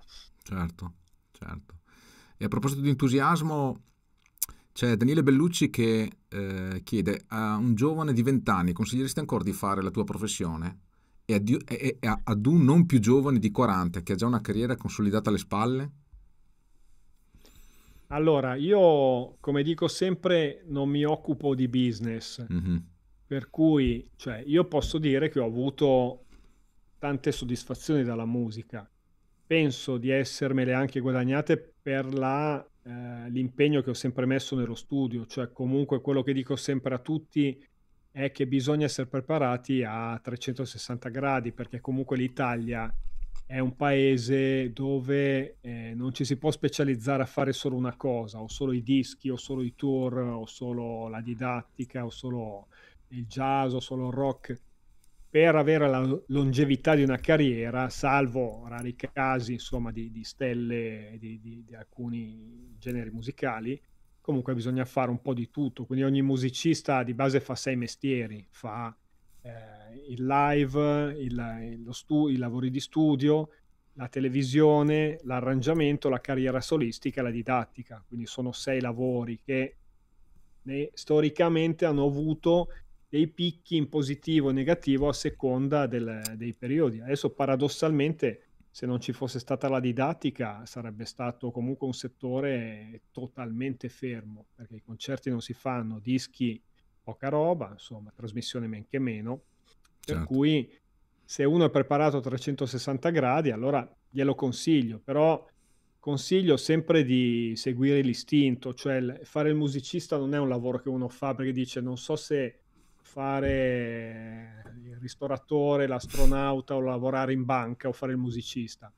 Cioè uno si ritrova come io ogni tanto tiro fuori periodicamente, come racconto qua, a un certo punto della vita si trova con una chitarra in mano e capisce che la, la, la, la terrà in mano per tutta la vita e gli darà anche da vivere, no? Per cui però non l'ho pianificato, cioè di base io è successo, io anzi ero programmatore di computer, lavoravo nell'ambito informatico, infatti per quello sono rimasto eh, comunque molto legato a tutta questa roba, perché io comunque, cioè la, la mia eh, passione viene fuori anche in queste cose, quando mi metto a, a gestire dei software nuovi, comunque lì viene fuori un po' la mia attitudine da nerd in quel tipo eh, di, ma...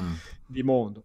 Quindi, che devo dire? Cioè, eh, sì che lo consiglio, però a patto che uno lo prenda con serietà e poi sia anche pronto a fare marcia indietro, perché non c'è un iter eh, normale come fare la domanda all'ufficio di collocamento o che ne so, adesso ci sono, vabbè, a parte non vale più quello che valeva 30 anni fa, per cui tanti si promuovono sul web ma la realtà è che bisogna essere pronti per la vita reale. Cioè certo. non è, non è ma tu, la, la tu, hai toccato anche una, una, un argomento che a me è parecchio caro perché effettivamente eh, il fatto di essere stato diciamo dentro la parte informatica oggi come oggi credo che sia un elemento abbastanza importante comunque per tutti i musicisti, cioè il fatto di saper lavorare con una... Scusa, rispondo a uno che eh. giocate a Fortnite, no, io sto giocando a Red Dead Redemption, che quello mi sta prendendo proprio, scusa. Ho visto il commento qua. Sì. Cioè il fatto di avere una dimestichezza con, le, con, la parte informatica per un musicista credo che sia fondamentale e veramente importante perché il fatto di poter buttare giù le proprie idee su una eh, sul computer, cioè poter scambiare file, informazioni, cioè poter creare i pezzi, perché vabbè, non è che si critica il computer perché è un ausilio per fare la musica, solo questo, è un ausilio che ti permette di creare cose che prima difficilmente potevi creare, cioè al massimo avevi la chitarra o il piano, buttavi giù l'idea e poi con eh, i, i, tuoi compari di, di, band la sviluppavi. Oggi riesci a fare tutto quanto, però devi avere una predisposizione per l'informatica, anche perché se si vogliono utilizzare sistemi digitali effettivamente bisogna comunque saper collegare un sistema USB, poter fare l'aggiornamento, poter scaricare i vari profili, le patch, eccetera, eccetera. Quindi questo io, ecco, io lo do visto che sono nel mio sì, canale sì, no, chiaramente... Eh, no, è importante. Eh, poi vabbè, qua dopo si aprono mille discorsi, no? Però cioè, è innegabile che adesso come adesso la musica digitale ci ha dato delle opportunità in più, nel bene e nel male, eh, certo. eh, perché ecco, una volta quando andavamo in studio a fare un disco, lo studio costava un milione di lire al giorno, eh, bisognava ottimizzare il tempo, gli studi erano degli studi seri, non la, la cantina di qualcuno che, che, ha comunque magari un computer performante, così, per cui gli investimenti si facevano solo su prodotti che erano auspicabilmente eccellenti o almeno che puntassero a quello. Adesso la tecnologia digitale ha dato libero sfogo a qualsiasi musica bella o spazzatura che sia... Sì. Eh, propinabile sul web. Quindi pro e contro, insomma adesso qua il problema è chiaramente etico e andrebbe affrontato quasi in una maniera sociologica, però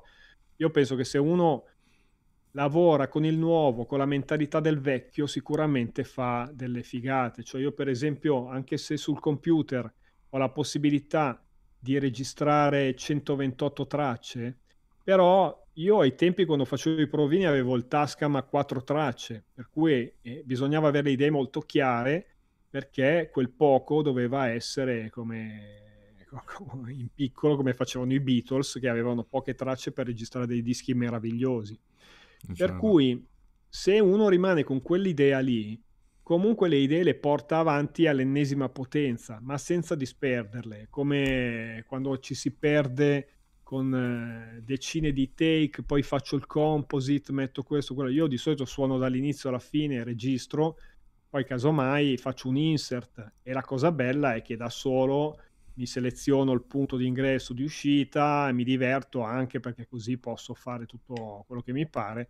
E in questo periodo di lockdown con i miei allievi diciamo che ho avuto modo di verificare anche la, la loro capacità di sopravvivere e di portare avanti anche la tecnologia che mai come adesso è stata necessaria. Anche se però non bisogna fare l'errore di pensare all'online come una soluzione o eh, come certo. una nuova... cioè io te- credo tanto nell'interplay, per cui la gioia che può dare eh, il vedere e ascoltare un musicista che è sul palco con me non la può dare di certo un plugin, sono tutti surrogati, però a volte invece ci possono essere delle forme creative che sono bilaterali e che comunque prendono in considerazione una, un aspetto tecnologico e uno emozionale. Certamente, io aggiungo che uh, per, per quanto riguarda il digitale, una delle soddisfazioni che che posso dire di avere sempre quando tanta gente anche di una certa età mi dice grazie al digitale sono riuscito finalmente a prendere in mano la chitarra e suonare in cuffia perché prima era impossibile, cioè l'amplificatore avevo, magari tornavo a casa tardi la sera oppure non avevo tempo, non avevo lo spazio e quant'altro, comunque eh, sapere che ci sono persone che hanno riconquistato la, il piacere, la voglia di suonare la chitarra, effettivamente è anche quello un passo, un passo veramente molto importante. Quindi le tecnologie vanno benissimo, eh, utilizzate per il fine principale che è quello poi di creare, giustamente, eh, certo. come dicevi tu.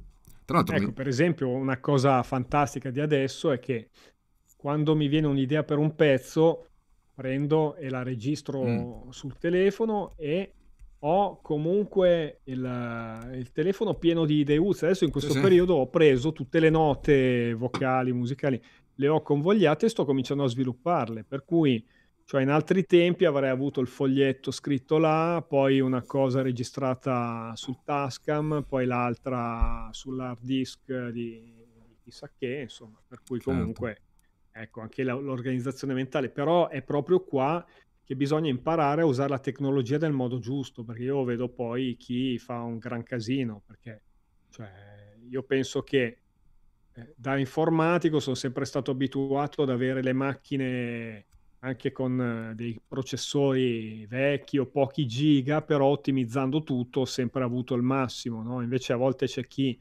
perché l'hard disk può tenere tutto, scarica, ci butta di tutto, ma poi dopo non ho sì. più memoria, dici com'è possibile, no? Che comunque io ho ancora l'80% libero. Certo, certo. C'è l'amico Daniele Norido che dice, ma eh, hai visto che hai, fa- che hai, fatto un disco con un tributo ai Beatles? Sì. Sì, ok, quindi visto che li hai citati prima...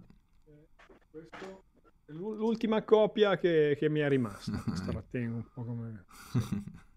Eh, beh, cioè, penso che sia un bel lavoro. Eh, sì. Comunque mi era stato commissionato un po' come musica d'ascensore, mm. mm. per cui l'ho fatto un po'. Però poi ci ho preso gusto, invece ho fatto degli arrangiamenti, per cui mm. è uscito un bel, un bel lavoro acustico.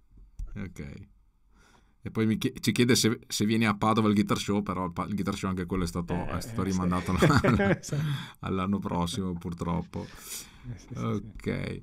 Eh, andiamo avanti, leggo ancora le domande di... Tra l'altro siamo 530, 540, quindi eh, stasera num- numeri eh. incredibili, quindi una platea... Cioè, 500, immagino Beh, considerando che è venerdì, venerdì, che tutti non sono potuti uscire per un sacco di tempo, adesso si comincia a uscire, quindi dai, anche un bel, un bel eh, numero di, di appass- appassionati di chitarra. Eh, effettivamente, insomma, magari ci sarà qualche moglie che non sarà proprio così contenta, anche, anche se vedo una presenza femminile, diciamo, ho visto qualche nome femminile. Sì, sì, sì, Le mogli, mia moglie mi, ci sta seguendo comunque, ah, la, la okay. saluto. Io, Prima era lei che mi ha detto... Non so se la mia compagna ci sta seguendo, che è ad Arezzo, per cui... No, Tra l'altro lei mi ha, mi, mi ha scritto mettiti a posto i capelli capelli. Ah, me, quei, quei, pochi che mi rimangono. ok, facciamo anche un po' di, così, di folklore. Che, certo, che certo. Ascoltami, ieri avevo... Ritorno un attimo a Sanremo perché ieri avevo uh, ospite Federico Malaman, che lui Sanremo non l'ha fatto, però dice effettivamente è un'esperienza veramente devastante, credo, da, da, sotto ogni punto di vista, le prove, la tensione, il fatto di di suonare in, quella, in quell'ambito lì, quindi vedo, vedo, diverse domande relativamente, ecco, eh, diciamo, qual è la diversità di suonare a Sanremo, suonare in uno stadio, in, una, diciamo, in, un, in un palco, non so come gli ultimi tour che hai fatto? Allora, guarda, io non voglio essere logorroico, no? no? Però siccome a me piace a volte teorizzare delle cose. E non ci siamo quindi... messi d'accordo per questa cosa qua. Eh, no, cioè, no, no però io qua nel libro, tra le co- poche cose, perché è quasi tutto un libro con aneddoti da ridere, però tra le poche cose serie cioè, parlo degli ambiti lavorativi, no? Allora io identifico sei caratteristiche che sono la creatività, la lettura, scrittura, l'improvvisazione, la strumentazione, l'affidabilità e le capacità imprenditoriali. Ho fatto dei grafici, no? Mm-hmm dove spiego a seconda dell'ambito live o televisivo o la carriera solistica intervengano in misura differente tutte le caratteristiche, poi dopo è tutto approfondito. Così. Allora, sono tutte esperienze completamente diverse, per cui paradossalmente ognuno richiederebbe una figura professionale diversa o, perlomeno che ha fatto un periodo di training in, in quella direzione lì. Per esempio, la lettura è importantissima in televisione, no? Perché suoni in un organico di 60 elementi, a volte anche di più, per cui se ognuno facesse quello che gli pare sarebbe un gran casino. In sala di incisione la lettura è quasi inesistente perché quando fai un disco inedito la cosa tipica è che uno ti dice guarda sono quattro accordi, vai suona orecchio, poi in realtà scopri che gli accordi sono cinque, che una volta c'è la terza al basso, una volta la quinta, una volta in battere, una volta in levare, una volta c'è da fare la ritmica reggae, la volta dopo uno stra... per cui la cosa migliore è scrivere la parte. Allora paradossalmente in studio non serve leggere ma serve scrivere, quindi mm. per scrivere devi aver imparato a leggere, per cui comunque ci sono delle cose completamente diverse. Nel live serve un impatto, eh, come dire, da, da, palco, quindi un'energia diversa da quella che uno può avere in studio o in televisione. In televisione è un po' quello che racchiude tutte le difficoltà dei, dei mondi, soprattutto quando fai dei programmi basati sulla musica come Sanremo, quindi devi avere la capacità di suonare con una precisione da sala di incisione, però una comunicatività da live, possibilmente una stabilità alla pressione psicologica, perché la diretta comunque ti mette a dura prova, no? Cioè a volte eh, ci sono delle cose molto esposte che ti fanno anche mettere in discussione dov'è il, il do maggiore, no? Per cui comunque ci sono delle cose dove impari poi a gestire anche questo tipo di momento, però diciamo che ogni, ogni cosa è differente, però il lavoro di televisione fatto a quei livelli lì penso che sia la cosa più, più complessa. Anche mettici per un fattore di responsabilità, eh sì, cioè eh comunque sì. se tu sei in un club e non va l'amplificatore, eh. al limite dici, oh raga, bevetevi una birra eh. e riprendiamo dopo. Se sei in un live è un problema, infatti si hanno sempre degli strumenti spare, però l'impatto live è diverso, per cui se per ipotesi anche non arriva un assolo, comunque la, la, l'attenzione sul, sul, sul cantante, okay. spesso c'è un impatto anche distribuito tra le luci, effetti speciali. In televisione prova a pensare se tu hai un intro di chitarra, a me quando ho delle cose molto esposte, il mio stress più grosso è che funzioni tutto, perché mm-hmm. dico, eh, cacchio, se poi non va qualcosa, cosa gli racconto? Cioè, una in diretta televisiva anche 20 secondi di buco sono un'enormità. Ah, sì. E io, toccandomi sempre... però in 13 Sanremo non c'è mai stato un malfunzionamento, mm. mai. Neanche una nota sbagliata posso permettermi di mm. dire, perché mm. c'è sempre una grandissima concentrazione, però mm. non è così scontato. Insomma, quindi a volte anche il, il prevenire il malfunzionamento, se è un cavo che scrocchia, stai tranquillo che per la legge di Murphy eh, darà il, meglio de, dei suoi problemi comunque durante la, la, prestazione più eh, certo. importante della, eh, certo. della, della, puntata. Certo, certamente. Io tra l'altro ho fatto un, una diretta quando ero, avevo cominciato a farle così io da solo e tornerò anche a farle proprio sull'importanza, diciamo, del non essere cialtroni da questo punto di vista, perché io identifico ci sono dei musicisti che sono dei cialtroni che arrivano con i cavi che non funzionano, cioè quello che arriva sempre col cavo che non va, cioè non si preoccupano mai di avere i doppi cavi, c'è cioè tutte le cose spare, tutte le cose, cioè l'organizzazione mentale che poi effettivamente ti permette di essere tranquillo quando suoni perché bene o male puoi contare certo. che se anche ti succede qualcosa deve, effettivamente deve pensare solo a suonare es- esattamente questo, questo è, è, assolutamente importante e qualcuno chiedeva tra le domande se fai qualcosa per la concentrazione in quei momenti lì cioè, meditazione fai, fai meditazione fai uh, treni autogeno qualcosa di sì, sì. No, beh, eh, per esempio la, la, mia forma di meditazione è sempre mm. la chitarra, quindi mm. mi metto lì, accordo le chitarre, faccio in modo che sia tutto a posto, faccio un po' come i controlli del, del capitano prima di decollare e poi mi faccio un po' di esercizi di riscaldamento, cioè è chiaro che sono sempre cose per la coscienza, però devo dire che funzionano sempre. Poi a volte cioè, è anche importante non imparanoiarsi, quindi se c'è una cosa che uno ha studiato bene, arriva un momento e dice vado a farmi due passi, torno e poi salgo sul palco. Insomma. E ascoltami, visto sempre parlando di concentrazione, ti è mai capitato un, una cosiddetta svizzera clamorosa? no, per fortuna no, no ma... Eh... Sì, forse nella vita sì, a Sanremo mai, per mm. esempio poi sì, qualcosa forse magari qua e là, però mai niente di eclatante, insomma, cioè comunque devo dire che eh, sono sempre molto... Ehm, gio- gioco un po' d'anticipo, per esempio mi ricordo c'era stato un periodo facevamo io canto mm-hmm. e ogni tanto arrivavano delle richieste un po' complicate, tipo mm. il solo di Saltano Swing. Mm-hmm per cui, cioè, uno di quei soli che o tu ce l'hai sotto le dita perché hai una tribute band, quindi lo fai comunque, cioè, ripeto che farlo in diretta in televisione è diverso, no? Però io mi ricordo come già è difficile come solo, ma me lo studiai ancora più, più veloce.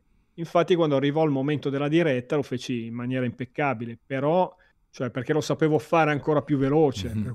quella è una cosa importante, insomma. Certo. Certo, allora poi vedo... Eh, domanda per entrambi. Durante il soundcheck, appena saluti sul... Almeno, sa, sa, sali, non saluti sul palco, avete un suono in particolare sul quale vi basate, che usate come cartina so, tornasole? No, scusa, non ho capito. Allora, do, praticamente durante il soundcheck, se avete dei suoni particolari che utilizziamo come, come test ah, per, per il... Ok. Ma eh, No, più che altro dei livelli. Ecco, io al mm. fonico magari do prima di tutto il livello più alto che ho, perché è mm, molto importante, sì. soprattutto con i dispositivi digitali, che non vada in esatto. clip. Ecco, per esempio, chi non ha mai alzato il volume dopo il sound check, alzi la mano.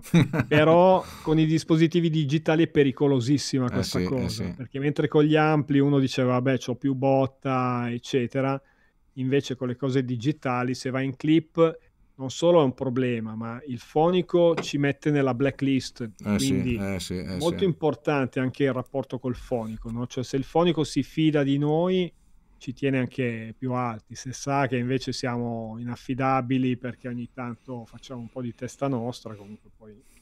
Ah, diciamo assolutamente sì. Eh, io infatti anche durante le mie cliniche mi sforzo continuamente di, di eh, consigliare alle persone di pensare quello che dicevi tu prima, cioè di ascoltare la chitarra nel mix, perché è, una, è un mhm. esercizio mm-hmm. fondamentale, primo perché si suona secondo me meglio, si sente, si è dentro la musica e quindi anche gli auricolari, eh, se sono di buona qualità, se sono tarati bene, ti aiutano tantissimo, ti, si aiuta a regolare gli effetti perché soprattutto gli effetti ambient, nel senso tu hai, hai, hai, usato parecchi riverbero, però quei riverberi lì all'interno di un mix eh, non è che sono a volte così presenti, cioè ti permettono di diciamo, di stemperare il suono all'interno del mix e quindi creare, non creare uno stacco della chitarra che a volte può essere voluto, però a volte no, cioè nel senso che se tu vuoi creare un pad all'interno di un ambiente, ma queste cose, questa certo. sensibilità la sviluppi solo ed esclusivamente quando hai la percezione istantanea di quello che succede a tutta la band, non al, solo, eh, al certo, suono, del, sì, al suono sì, della chitarra. Anzi, i suoni vanno sempre testati in un ambito realistico perché finché uno è da solo eh, carica delle frequenze che forse magari poi vengono assorbite dagli altri strumenti e poi anche i, il, i posizionamenti sul piano sonoro. Io ho sempre un clean boost su ogni suono, per cui ho sempre questo scarto di 3 dB che mi può portare un posizionamento differente, no? Per cui questo, cioè il fatto del, per esempio, in studio questa problematica non c'è perché io suono e poi è il fonico che alza, abbassa. Nel live invece noi dobbiamo essere fonici di noi stessi, anche se c'è un fonico che però solitamente segue di più la voce, la batteria. Quindi la chitarra la dà quasi per scontata, quindi se noi siamo bravi ad avere il power che ha lo stesso impatto del, del suono pulito e poi il solo esce il giusto ma senza essere devastante, quindi tutte queste cose rendono il lavoro del fonico più gradevole e ripeto evita di mettere compressori strani e di tenersi anche più fuori nel mix Quando invece uno eh, ha un volume del solo devastante uno abbassa e il risultato è che nelle ritmi, parti ritmiche non si sente più perché poi non è che uno dice aspetta che adesso riposiziono cioè in generale io vedo a volte si fa anche un po' una media così insomma per cui comunque se, se noi siamo bravi anche a gestire anche i rumori no? a chiudere il volume della chitarra o senza usare noise gate, però a ad avere dei suoni che non mandino il Larsen, perché a volte c'è anche questo problema, no? chi suona spesso in cuffia poi mette dei gain stratosferici e quando è su un palco fischia anche... la... Guarda, stai, stai, dicendo delle cose, la Bibbia della, del chitarrista, che non è il chitarrista digitale, ragazzi, cioè è che il digitale, no, da un certo punto di vista, ti, ti, ti, ti obbliga a pensare in questo modo, se vogliamo, e soprattutto diciamo, il chitarrista moderno all'interno di un determinato contesto deve pensare effettivamente in, questo, in questi contesti. Tra l'altro il discorso del, dell'alzarsi il volume di cui, di cui, citavi prima è anche un problema perché molto spesso il problema dei problemi, ecco, mi deve venire fuori questa, questa frase che ormai mi identifica, il problema dei problemi è che cioè, noi facciamo il sound check, il batterista solitamente suona al 50%, poi chissà perché appena, appena parte solitamente... Eh, quello non è, è, è, è un atteggiamento professionale, insomma, perché comunque il, poi uno l'impianto lo tara su quello. Insomma, es- esattamente, questo, e questo penalizza tutto, perché poi il fonico che aveva fatto tutto un certo tipo di lavoro deve rifare tutto da capo Infatti, e si spazientizza. Cioè, a volte poi c'è chi... Eh, cataloga certi batteristi come magari non virtuosi, però sono lì perché non si sa perché. Io invece posso dire che grandi batteristi con cui ho lavorato, esatto.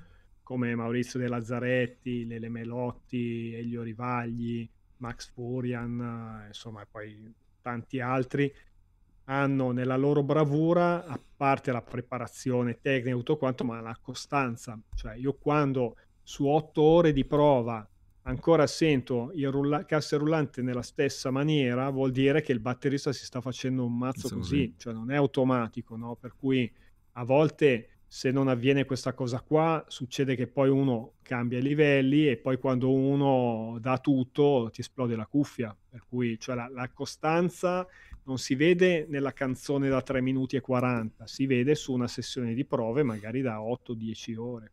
Assolutamente, guarda, cioè, mi fa molto piacere che, che, si discuta di questa cosa perché io ci tengo in particolar modo, tu perché fai chiaramente dei, diciamo dei, un lavoro di un certo tipo, io non faccio il lavoro che fai tu perché sono più chitarrista da, da, da, da situazioni da piccoli locali, però assolutamente ragazzi il, l'atteggiamento eh, che io dico sempre, essere dei professionisti non vuol dire essere professionali, sono due cose, sono due cose completamente, completamente diverse. Come detto giustamente Luca, ci sono dei musicisti che magari apparentemente non sono granché, però sono persone che hanno un comportamento ineccepibile dal vivo, non sono lì che si mettono lì a provare, il batterista che si mette lì, cioè il chitarrista che sta lì a provare, cioè il chitarrista cioè, arriva lì, chitarra pronta, tutto perfetto, collegato, non c'è rumore, non ha niente queste sono cose che effettivamente si parlava prima di carriera, secondo me a livello di produzione vengono tenute in una considerazione altissima, molto di più che non magari i virtuosismi o, o cose di questo eh, genere. C'è, c'è, un po' di tutto, insomma, per cui io però penso che, adesso parlando di chitarra, che se un chitarrista sa accompagnare bene ha sicuramente molte più ah, certo. opportunità lavorative e poi si diverte di più. Cioè adesso in un qualsiasi disco o tour di musica pop eh, italiana ma anche internazionale, la percentuale di assoli e di ritmiche è eh, tra 95% e 5%. Io posso dire di essere stato fortunato nel tour di ultimo, c'era lui stesso, Nicolò, che veniva a dirmi: Ma non possiamo allungare un po' il solo? Dico, sei... adesso io ti faccio un monumento perché non, non succede mai. Però in ogni caso, eh, a parte questo episodio che è, è gradevolissimo, però in generale se uno si rompe le palle a fare le ritmiche e non vede l'ora che arrivi là solo, è meglio che faccia un altro lavoro. Eh perché sì, io invece mi diverto tantissimo a fare le ritmiche, anzi, ultimamente qualcuno te lo può confermare in queste jam session che proliferano così, sì, per sì. cui a furia di fare assoli, quando mi hanno chiesto l'ennesima collaborazione, ho detto: Ma posso fare le ritmiche? Ha detto sicuro, sì sì. E mi sono divertito un casino perché almeno suoni il pezzo dall'inizio alla fine. Esatto. Sperimenti anche i, i suoni, suoni, perché poi fare le ritmiche non vuol dire fare un uncia, cioè c'è tutto un lavoro di progettazione del tessuto armonico, delle sonorità, della coesistenza di parti di chitarra, anche di capire quando è il caso di doppiarle e se si doppiano di ricordarsi esattamente cosa si è fatto nella parte precedente, perché ha voglia a fare il figo, a fare tutte le variazioni, sì, sì, ma quando poi ti dicono doppiamo, dici ah ok, allora fammi risentire, per cui a volte bisogna essere anche molto strutturati per eh, quello, no? eh, per cui anzi poi adesso a volte anche troppe variazioni sono fastidiose, per cui divertirsi nel fare ritmiche è veramente oro per un chitarrista, perché se no uno rimane frustrato, anche perché poi nessuno ci darà mai lo spazio necessario. Io a volte ci scherzo, c'è chi dice, ah, perché non fai più assoli? Ma io mi diverto tantissimo così e comunque non lo decido io. Per cui se non fossi eh, coinvolto nel, in tutto il settore ritmico, non sarei neanche così amico dei miei compagni di certo. squadra, perché comunque il, una band che suona bene vuol dire che è in coesione col bassista, il batterista, il tastierista. Se invece uno è solo solista, dopo un po' posso certificare che sta sul cazzo a tutti, perché comunque gioca sempre da, da libero, però cioè, l'arrangiamento è l'arrangiamento, quindi non si scherza, insomma. Esatto, esatto, esatto. Cose maturate in praticamente 3, 35 anni eh, di, di, carriera quasi. sono, assoluta, sono assolutamente, assolutamente d'accordo. Luca, sei uno dei miei chitarristi italiani preferiti, dopo Marco Fantone ovviamente. Eh, cioè, vabbè, ok, c'è anche, bella, st- bella... c'è anche questa... vedo, vedo queste, queste, cose. Matteo Dall'Oca sei segnato ormai, ok. Invece Andrea Noe, che è sempre un fedelissimo della, della Phantom, domanda per Luca, per improvvisare ti canti le cose che suoni o cosa pensi mentre improvvisi? Ecco, questo mi interessa perché io ho le mie idee.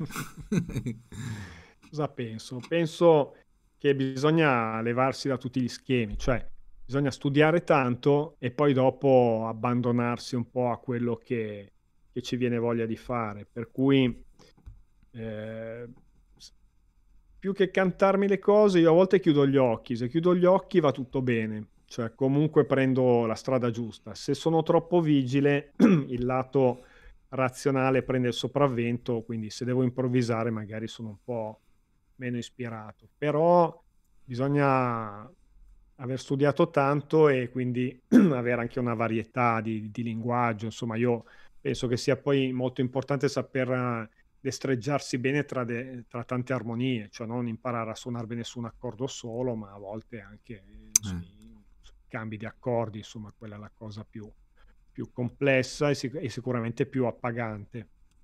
Ok, allora visto che abbiamo parlato di, di suono, improvvisazione, eh, sa che l'ora che ci fai qualcos'altro, cosa dici? Faccio un brano. Assolutamente okay, sì. Dai, allora... Tra l'altro Fabriz dice cosa significa doppiare. Doppiare si usa spesso in, in incisione per diciamo, le parti di chitarra, soprattutto le parti ritmiche, si fanno due tracce eh, che poi una viene messa a destra, una a sinistra, si fa uno stereo, però il fatto di che le, diciamo, le tracce non sono proprio perfettamente sincronizzate rende un, la sonorità molto ampia. Però bisogna sapere, come diceva giustamente Luca, quello che si fa perché altrimenti rifarlo uguale è un casino. Poi c'è anche un fattore alienante, secondo me, che è pazzesco. Cioè, quando tu suoni con te stesso, devi avere bene la consapevolezza di dove sei posizionato. Mm. Cioè, per esempio, io di solito faccio la prima centrale, poi la faccio mettere a sinistra e poi faccio l'altra a destra. Quelle rare volte che qualcuno ha fatto il contrario, tu suoni credendo di essere quello di sinistra, invece sei quello di destra, e quindi sei portato a magari andare un po' più avanti, sì. perché senti l'altro che tira avanti, invece in realtà sei sempre tu che, che stai andando per i cavoli tuoi.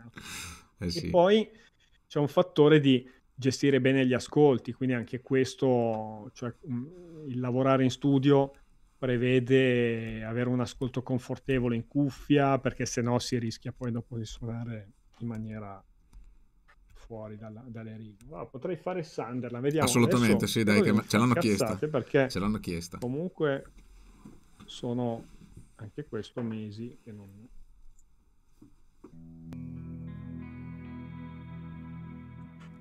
anche vorrei sottolineare l'importanza dell'accordatura, anche questa è una di quelle cose eh, sì. che, che, non è mai da sottovalutare, insomma, perché una take con la chitarra stonata allora. Sì, poi questi ambience qua per la chitarra stonata è, è un supplizio sì. di... Vediamo, potrebbe essere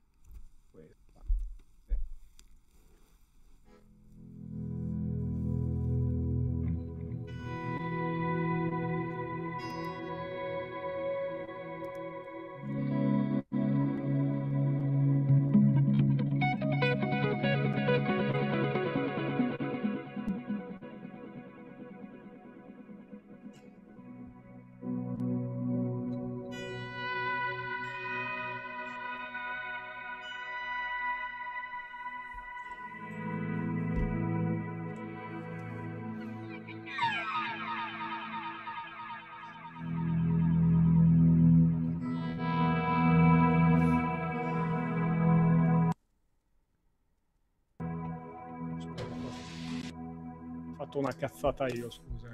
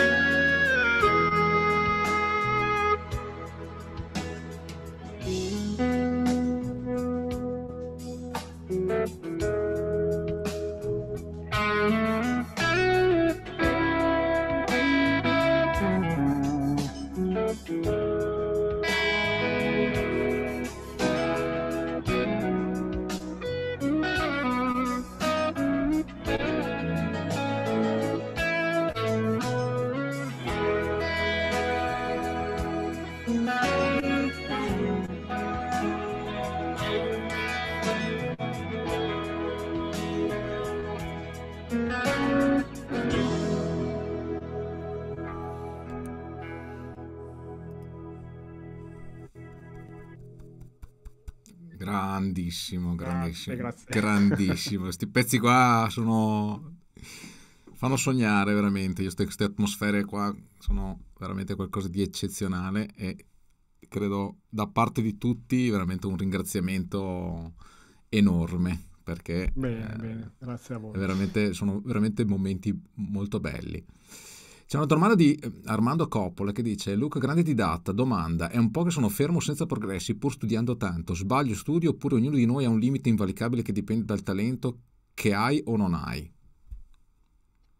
Eh, dipende da su cosa vuole progredire, nel senso che secondo me nessuno ha dei limiti oltre i quali non può andare, anche perché la chitarra racchiude talmente tante cose che non è possibile non crescere sempre di qualche tassello. Quindi vuol dire che forse magari può darsi che stia facendo sempre gli stessi studi oppure non nella maniera giusta, per cui comunque è importante sempre applicare le cose, cioè io penso che eh, noi abbiamo una parte emozionale e una razionale, per cui comunque se eh, la, l'elemento musicale rimane nella parte razionale, praticamente non, non la applichiamo mai. Quindi io per esempio ai miei allievi faccio fare questa cosa, per esempio. Ipotizziamo che uno debba imparare una scala di Do maggiore, no? Per cui...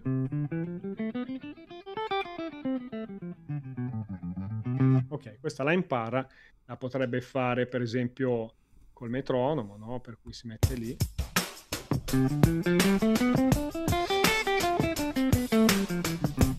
peggiore dei casi semplicemente sfigato, per cui per esempio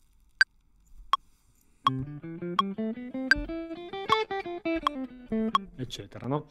Quindi questo non è musica, ma è un semplice esercizio. Quindi io chiedo sempre agli allievi di provare a fare un'escursione di eh, velocità e dinamica, quindi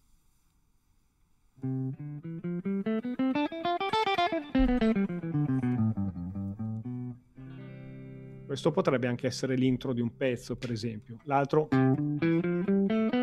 certamente no.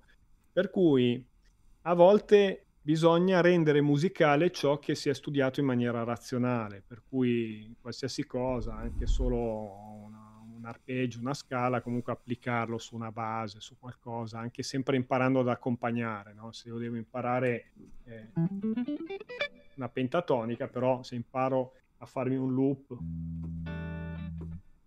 non so se ce l'ho collegato. Vai, vai.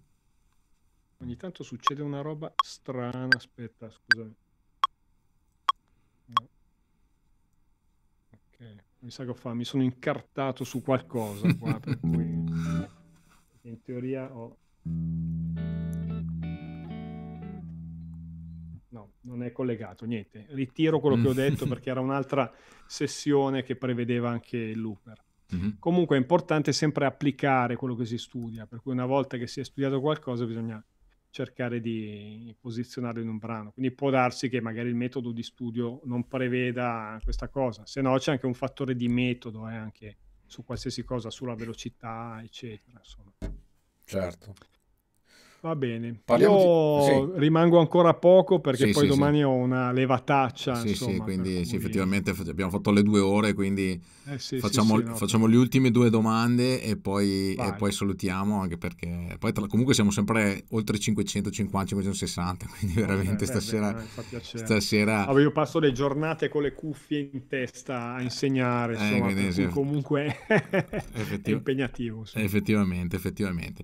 Ma visto che l'hai mostrato prima, allora c'è una domanda che riguarda le, le corde, la scalatura e anche il plettro, perché mi piace dar spazio a, a Steve Tommasi che, che, ha disegnato sì. il tuo plettro e che credo certo. che sia un parte fondamentale del tuo suono che sì, 10 milioni di commenti hai un tocco pazzesco. Il tocco pazzesco ah, è okay, dovuto anche, diciamo, è a... Una cosa su cui perdo tanto tempo. Infatti con ah. Steve a volte abbiamo fatto di quei di quelle flebo allucinanti a, a, parlare di cose che se un essere normale ci guarda dice ma voi siete flippati, no? Allora, io... Però io trovo che i materiali suonino in maniera diversa. Ecco, perfetto. Io invece ah. ho questi qua che sono comunque triangolari, adesso non va a fuoco eh, automaticamente.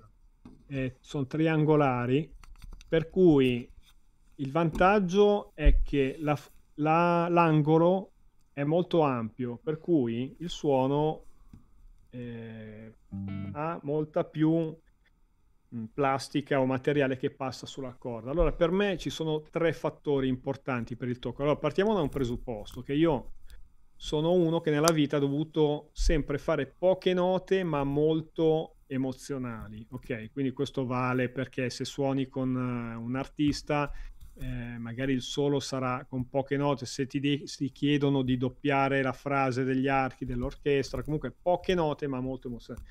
Per cui il pletro non deve solamente essere preciso, come per esempio tanti plettri molto piccoli, tipo gli Ibanez, che sono precisissimi, vanno benissimo se uno fa tante note, ma se ne fai poche non hanno abbastanza spessore. Allora, questo plettro, per esempio, è molto preciso, però se io lo inclino un po',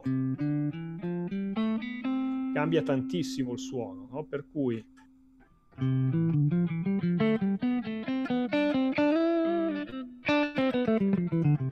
E intervengono tre fattori quando si costruisce il suono. Uno è dove vado a suonare. chiaramente sembra quasi che stia equalizzando il suono, invece a volte sta anche molto vicini al ponte.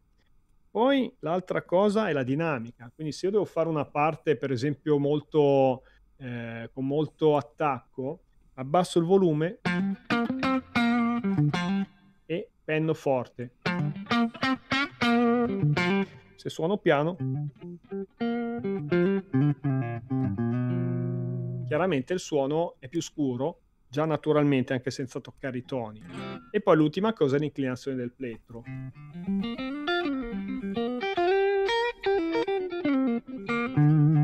Per cui questo fa veramente una grandissima differenza. Poi dopo in, questo, in questi anni abbiamo sperimentato varie cose, il, il plettro di legno, di cocco, di plexiglass, eccetera. Adesso da un po' di anni stiamo usando questo materiale che si chiama galalite. Galalite, sì Esatto, che suona molto bene perché mm. quelli di plexiglass, per esempio, hanno un cic cic sulle corde che, che, non mi piace, soprattutto sul suono distorto. Poi adesso ho fatto questo, questo qua col buco, sì. puoi infilare sul mignolo, no? È interessante perché si sente il contatto delle dita, ah. però il suono è leggermente meno bello.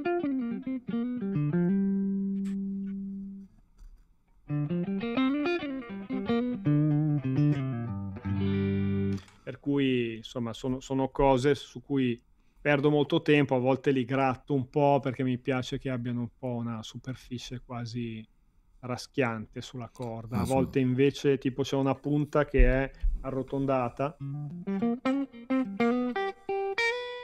Contro questa. Cioè sono piccole differenze però ah, fanno ah, di, di, di suono insomma. Poi soprattutto anche quando si suona in studio, quindi la, il suono è nella lente di ingrandimento, o addirittura con la chitarra acustica, col microfono davanti, lì l'espressività del pletro viene fuori tantissimo. Ecco, per esempio gli STPX non li uso mai sulla chitarra acustica perché mm. hanno veramente un'aggressività pazzesca per cui col microfono davanti risulta troppo presente, però qualche volta è capitato. Insomma. Molto bello, fantastico, veramente. Cioè, hai fatto questa, questa cosa del plettro, ci tenevo prima perché con, uh, con Steve c'era un rapporto di amicizia poi da tanti anni ed effettivamente è importante e si sentiva perfettamente, non, er- non erano poche e, e, e, e certo. diciamo, le differenze erano veramente importanti. Assolutamente. Sì, Io sì, direi sì. che quindi possiamo andare verso la fine, ci fai un'ultima cosa, così, così ci chiediamo con la serata, cosa dici? Okay. Va bene, dai, dai così allora, intanto sal- salutiamo, salutiamo Luca, quindi t- finché Luca suona salutatelo, mi raccomando. Mi, mi, eh, Io mi, mi spiace che ho seguito poi poco le, le, domande perché poi mi metto a chiacchierare sempre, però ci sei stato tu che hai fatto da... Sì, sì, sì, insomma, abbiamo, abbiamo, coperto una gran parte di, di argomenti. Io vi ringrazio Beh, vi, vi, saluto dopo, intanto facciamo finire, sì, facciamo dai, suonare Luca. Allora, aspetta Vai, ti lascio. Prima avevo un problema sui volumi. mi sa che ho fatto una cavolata. Sì, sì, vai tranquillo. Che... che Io tra l'altro vi ricordo che abbiamo lunedì 1. Lunedì 1 abbiamo ospite Marco De Virgilis di Divi Marca, qui, quindi ah, okay. un altro personaggio importantissimo che ha portato il nome, il brand italiano in tutto il mondo.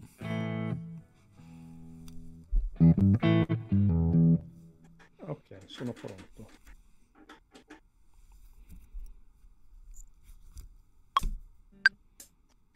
Non proprio.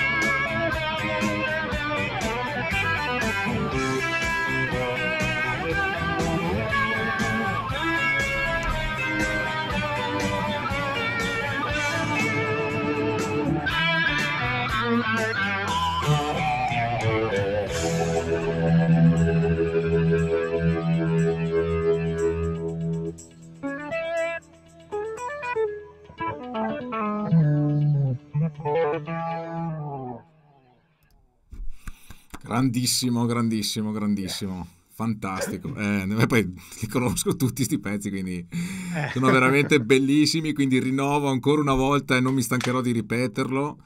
Di, diciamo, di comprare l'album di, di, Luca perché è veramente bellissimo Sunderland e Grazie, ovviamente il libro ovviamente il, ah, aspetta, anche il libro anche il libro cioè, quest'estate da leggere sotto l'ombrellone da leggere in vacanza. sotto l'ombrellone ammesso eh, di andarci eh, già, sotto l'ombrellone sì, eh, sì, dentro i gabi di plexiglass speriamo di no perché sono a 5 esatto.